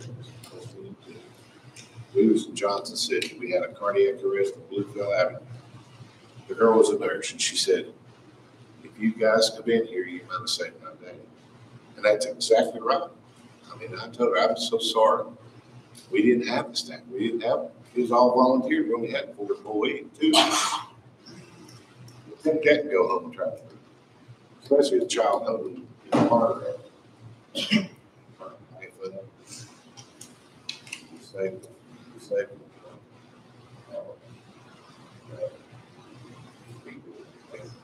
See this stuff, they never. It's like my boys sometimes, I tell them, when you leave here, you won't think about it till the next month.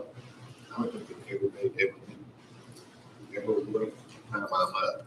I think about how I'm going to do it, get protection. And this, That's all I got to say about it. All right, no questions. We appreciate you guys coming. Thank you. Next up is the volunteer fire department.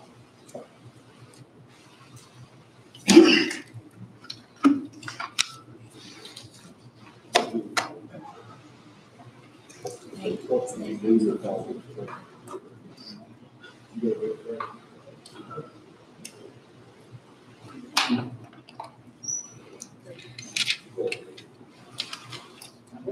good evening, but it's good night now. David Jones, I'm the chief at West Carter County. Carter County Fire Association president. Um, I'm gonna try to make it short and sweet. We currently get funded four hundred and forty-two thousand for the seven departments in the county. Um, We're asking for a thirty-five thousand dollar increase, which is five thousand dollars per department. Put us at four hundred and seventy-seven thousand dollars. Seven departments in the county. I will tell you, your packet has a mistake on the first page. On the letter, we figured our increase from sixty thousand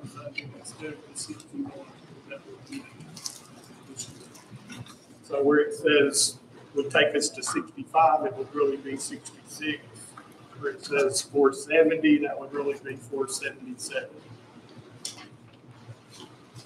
But that is, uh, keeping that same, that would be fifty-six thousand per department and still keeping that line item for the fifteen thousand dollars for grant matching and radio radioactive training costs that keep as a separate line.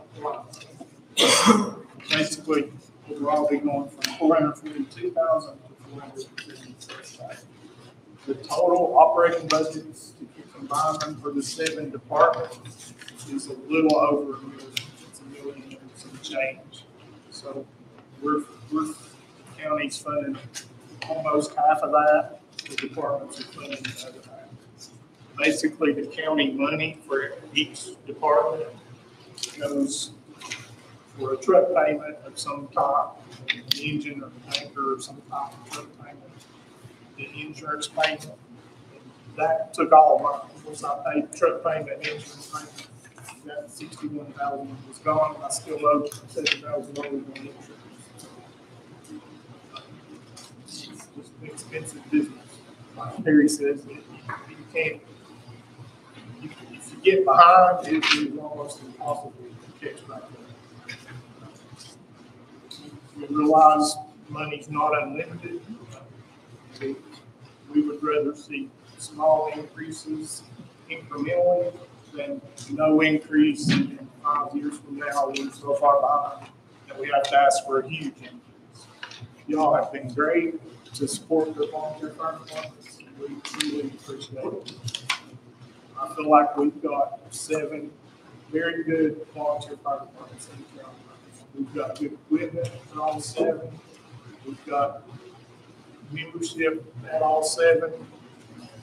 Some of them struggle others, but overall, the the county, the fire departments are doing a great job. I'm prejudiced obviously, but, you know, I feel like we do job for the and for the money that you invest. It's obviously an essential service that people expect. My end of the county, people think they live in the city, so they don't know the difference when we show up versus if Johnson City or Elizabeth shows up down there. They, they all think they live in the city. Uh, you know, And they expect five minutes, thank you more than five minutes to get here I feel like you know, all the departments work really well together we did a good job. So, sorry about the mistake. Discovered it last night. I was going through stuff, but uh, we had figured out that everything off of 60,000 instead of 60. So, be happy to answer questions. Well, questions, please. Questions? I was playing catch up. So your total ask is just the 470 or is it 477? 477. 477.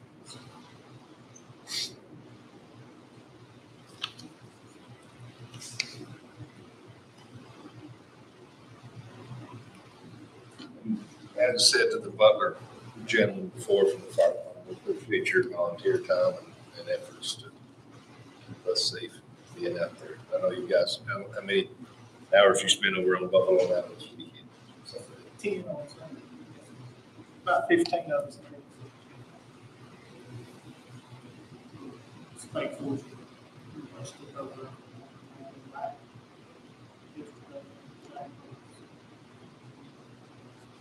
Concerned about tomorrow.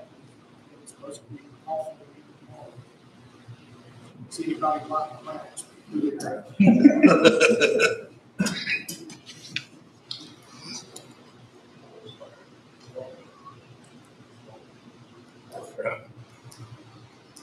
Anybody else?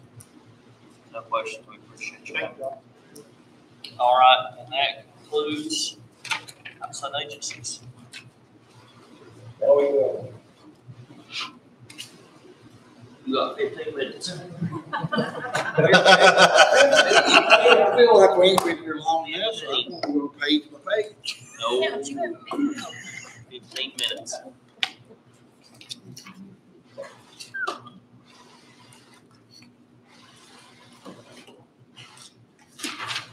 I want to thank Ms. Carolyn for working with me on this. She's helped me quite a bit on this budget this year, and I think we've got it uh, narrowed down without any raises, of course, to uh, what uh, we can do when in my budget. So, uh, If you've got any questions, I'll answer them, but uh, other than that, uh, request I think our budget raised up in the neighborhood. uh, we cut some stuff too, but, uh, actually it went down some, million eight seventy, seven forty-seven, so we went down a little bit, if I ain't mistaken from.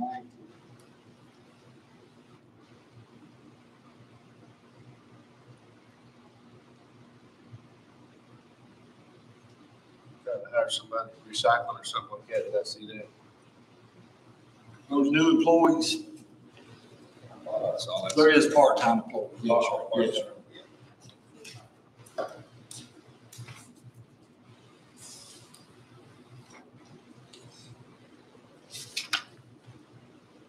So the original, your all's original budget for twenty-one, twenty-two was one point five, you're looking at one point eight five this year?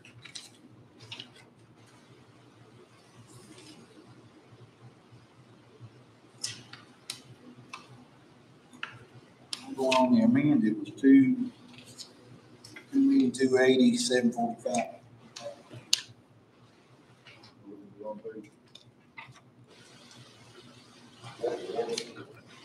Yeah, that was, that's the one I was looking at. Because on here, it's got original twenty twenty-one budget, and we know that there was half a million dollars in there for recycling stuff and. That's on the front page. Yeah, that's the one I was looking at, so that's not, which one should I be looking at? That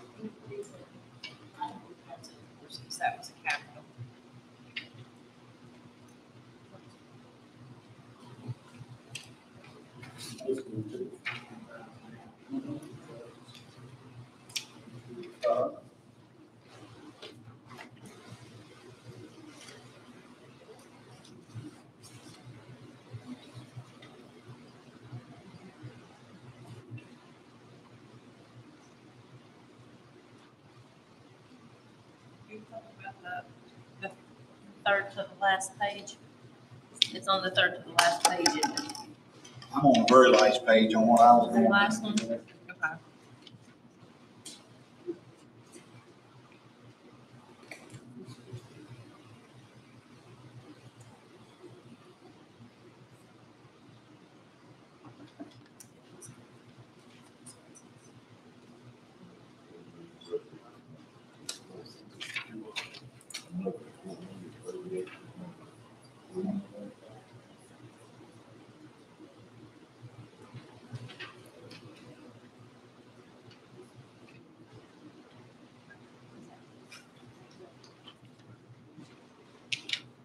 What about They going up, all the stuff? Recycling rates are actually kind of holding true. Uh, They're in the neighborhood of hundred and seventy-five, hundred and eighty dollars a ton on cardboard. As of January twenty-one, we have dropped. it to $21. Uh, It's actually moving, uh. I was just gonna say, everybody will flip to the third, uh, third to the last page. It's gonna update you about some of this. Yeah, sake, part of the reason that we're showing the revenue in here uh, is to show that they will be estimating running in black this year. So that means they are going to cover all of their expenses. And the revenue that he's estimated, of course, that will go into the county budget as well. But it shows that his increases, of course, there are no salary increases in here at this time. But it shows that what they're bringing in now, and these are very realistic numbers, that they will cover all of their expenses without having to go to their fund balance at all. And and I think that's the first time that's ever happened, correct? Yes, ma'am. Yeah, and if you'll see it underneath the one million, eight hundred fifty-six thousand, she's got two hundred fifty-two thousand in surplus is what they're estimating, so that will actually. Oh, two hundred fifty-two dollars. Two hundred fifty-two thousand, I was thinking, well, yeah, I said, you, when I said the reason, two hundred fifty-two thousand, well, maybe I'm, maybe, Yeah, that was just ain't carried out, so.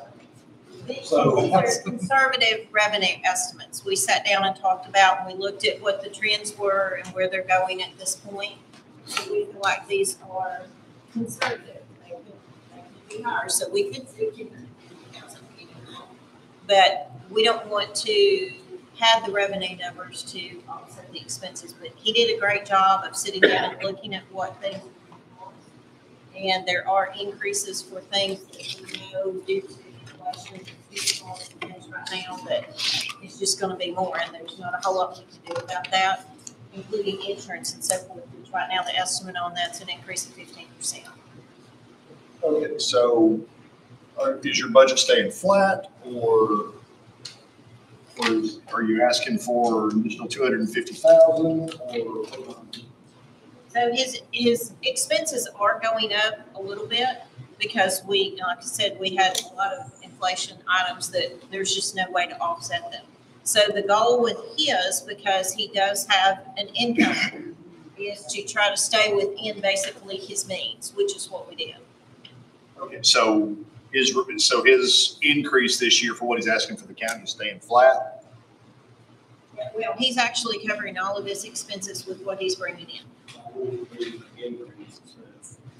Yeah. Okay, and you've not seen a whole lot of kickback from the rate increases? Actually, most everybody started coming back, so.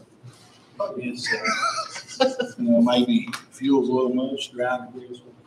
Nope.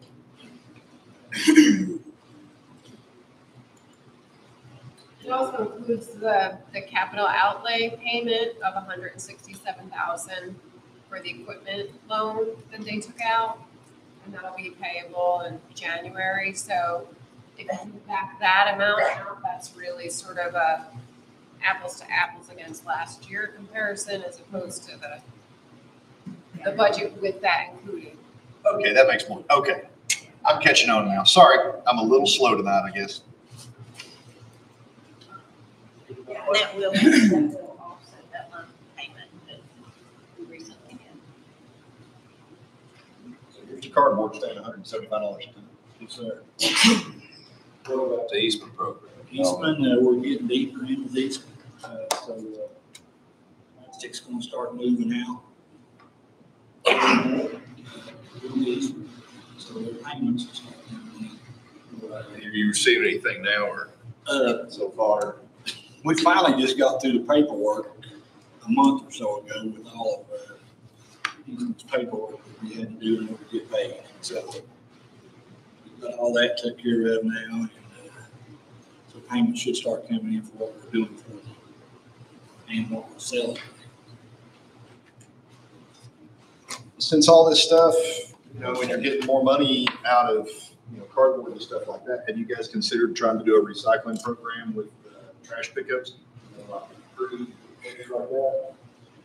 I know it's a huge. I wish we could, but we're, not set up, no, we're not set up at all to do a residential pickup. We, just- we don't have people and equipment. Be a good idea, you know, if you could do it, but, uh, we're just, we're not set up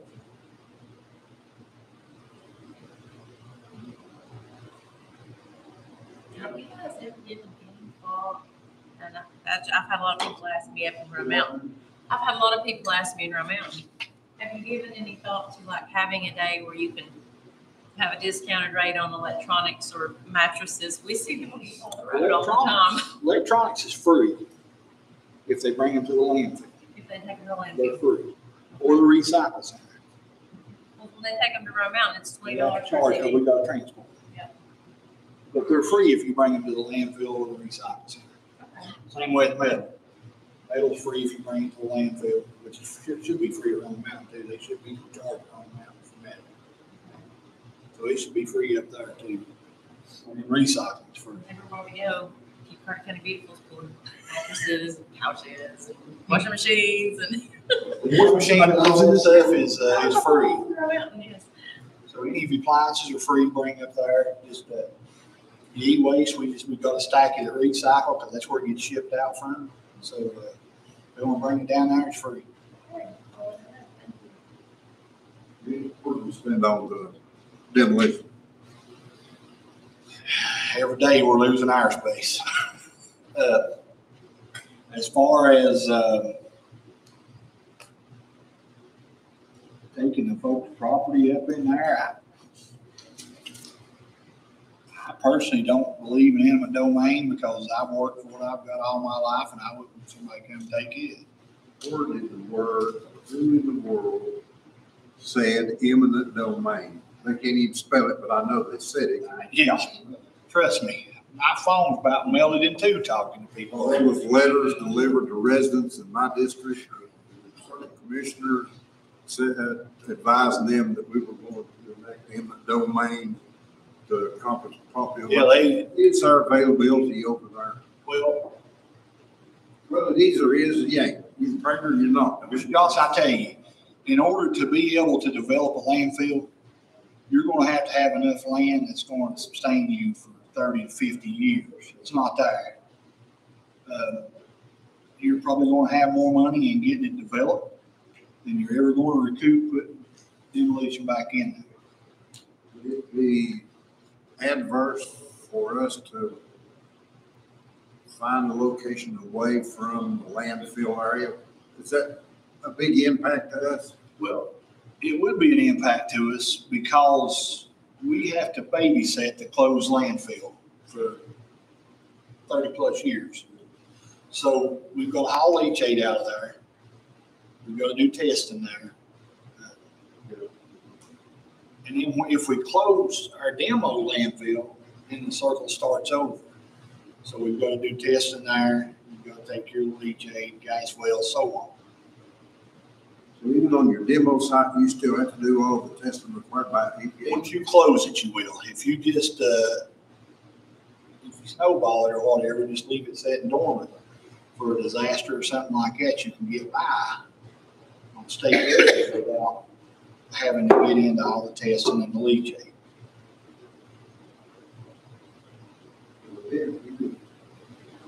Just with location for a demo site. I mean, away from up where you're at. I think, uh, You know, it's viable. I think Austin had talked to somebody that, uh, I don't know what he come up with on that, but, uh, over around to the Cripple Creek, Austin. We're talking about Big flagle, and it- So it's not, it's not. The only thing I'd worry about is going in on Pete's. Is what's been dumped in there before us. It can come back If to don't tell, you go in and do your job. it can come back and bite us long term. My suggestion would be to put a modernized transfer station up there where you could actually do demo and trash.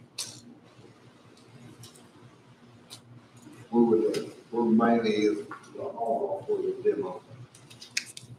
It would be in the same building. No, I mean, where would they take it? Oh, they'd take it all Blountville where we take our household trash now. We put the same tractor trailers.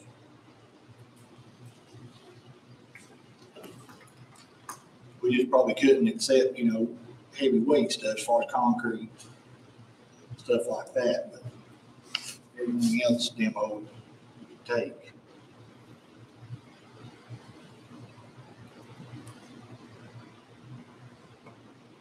All right, there's not any more questions or anything for budget, everybody's good. Just a comment, I don't know if you were here, but Keep Carter County Beautiful. Anytime we ask for your help, we're always there. Just To say thanks for that. People call them all the time for cleanups and everything. You're right there with the dumpster, whatever we need to. Well, I appreciate what they do for the county. And, uh, You know, if I can help them, same way the fire departments, if they need something, we try to help them. Because they've been to my side numerous times for days fighting fire, so.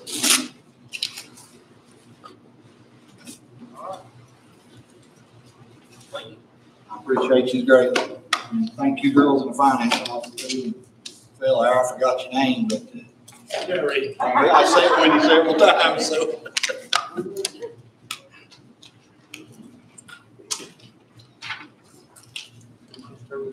I already let it go on, so don't.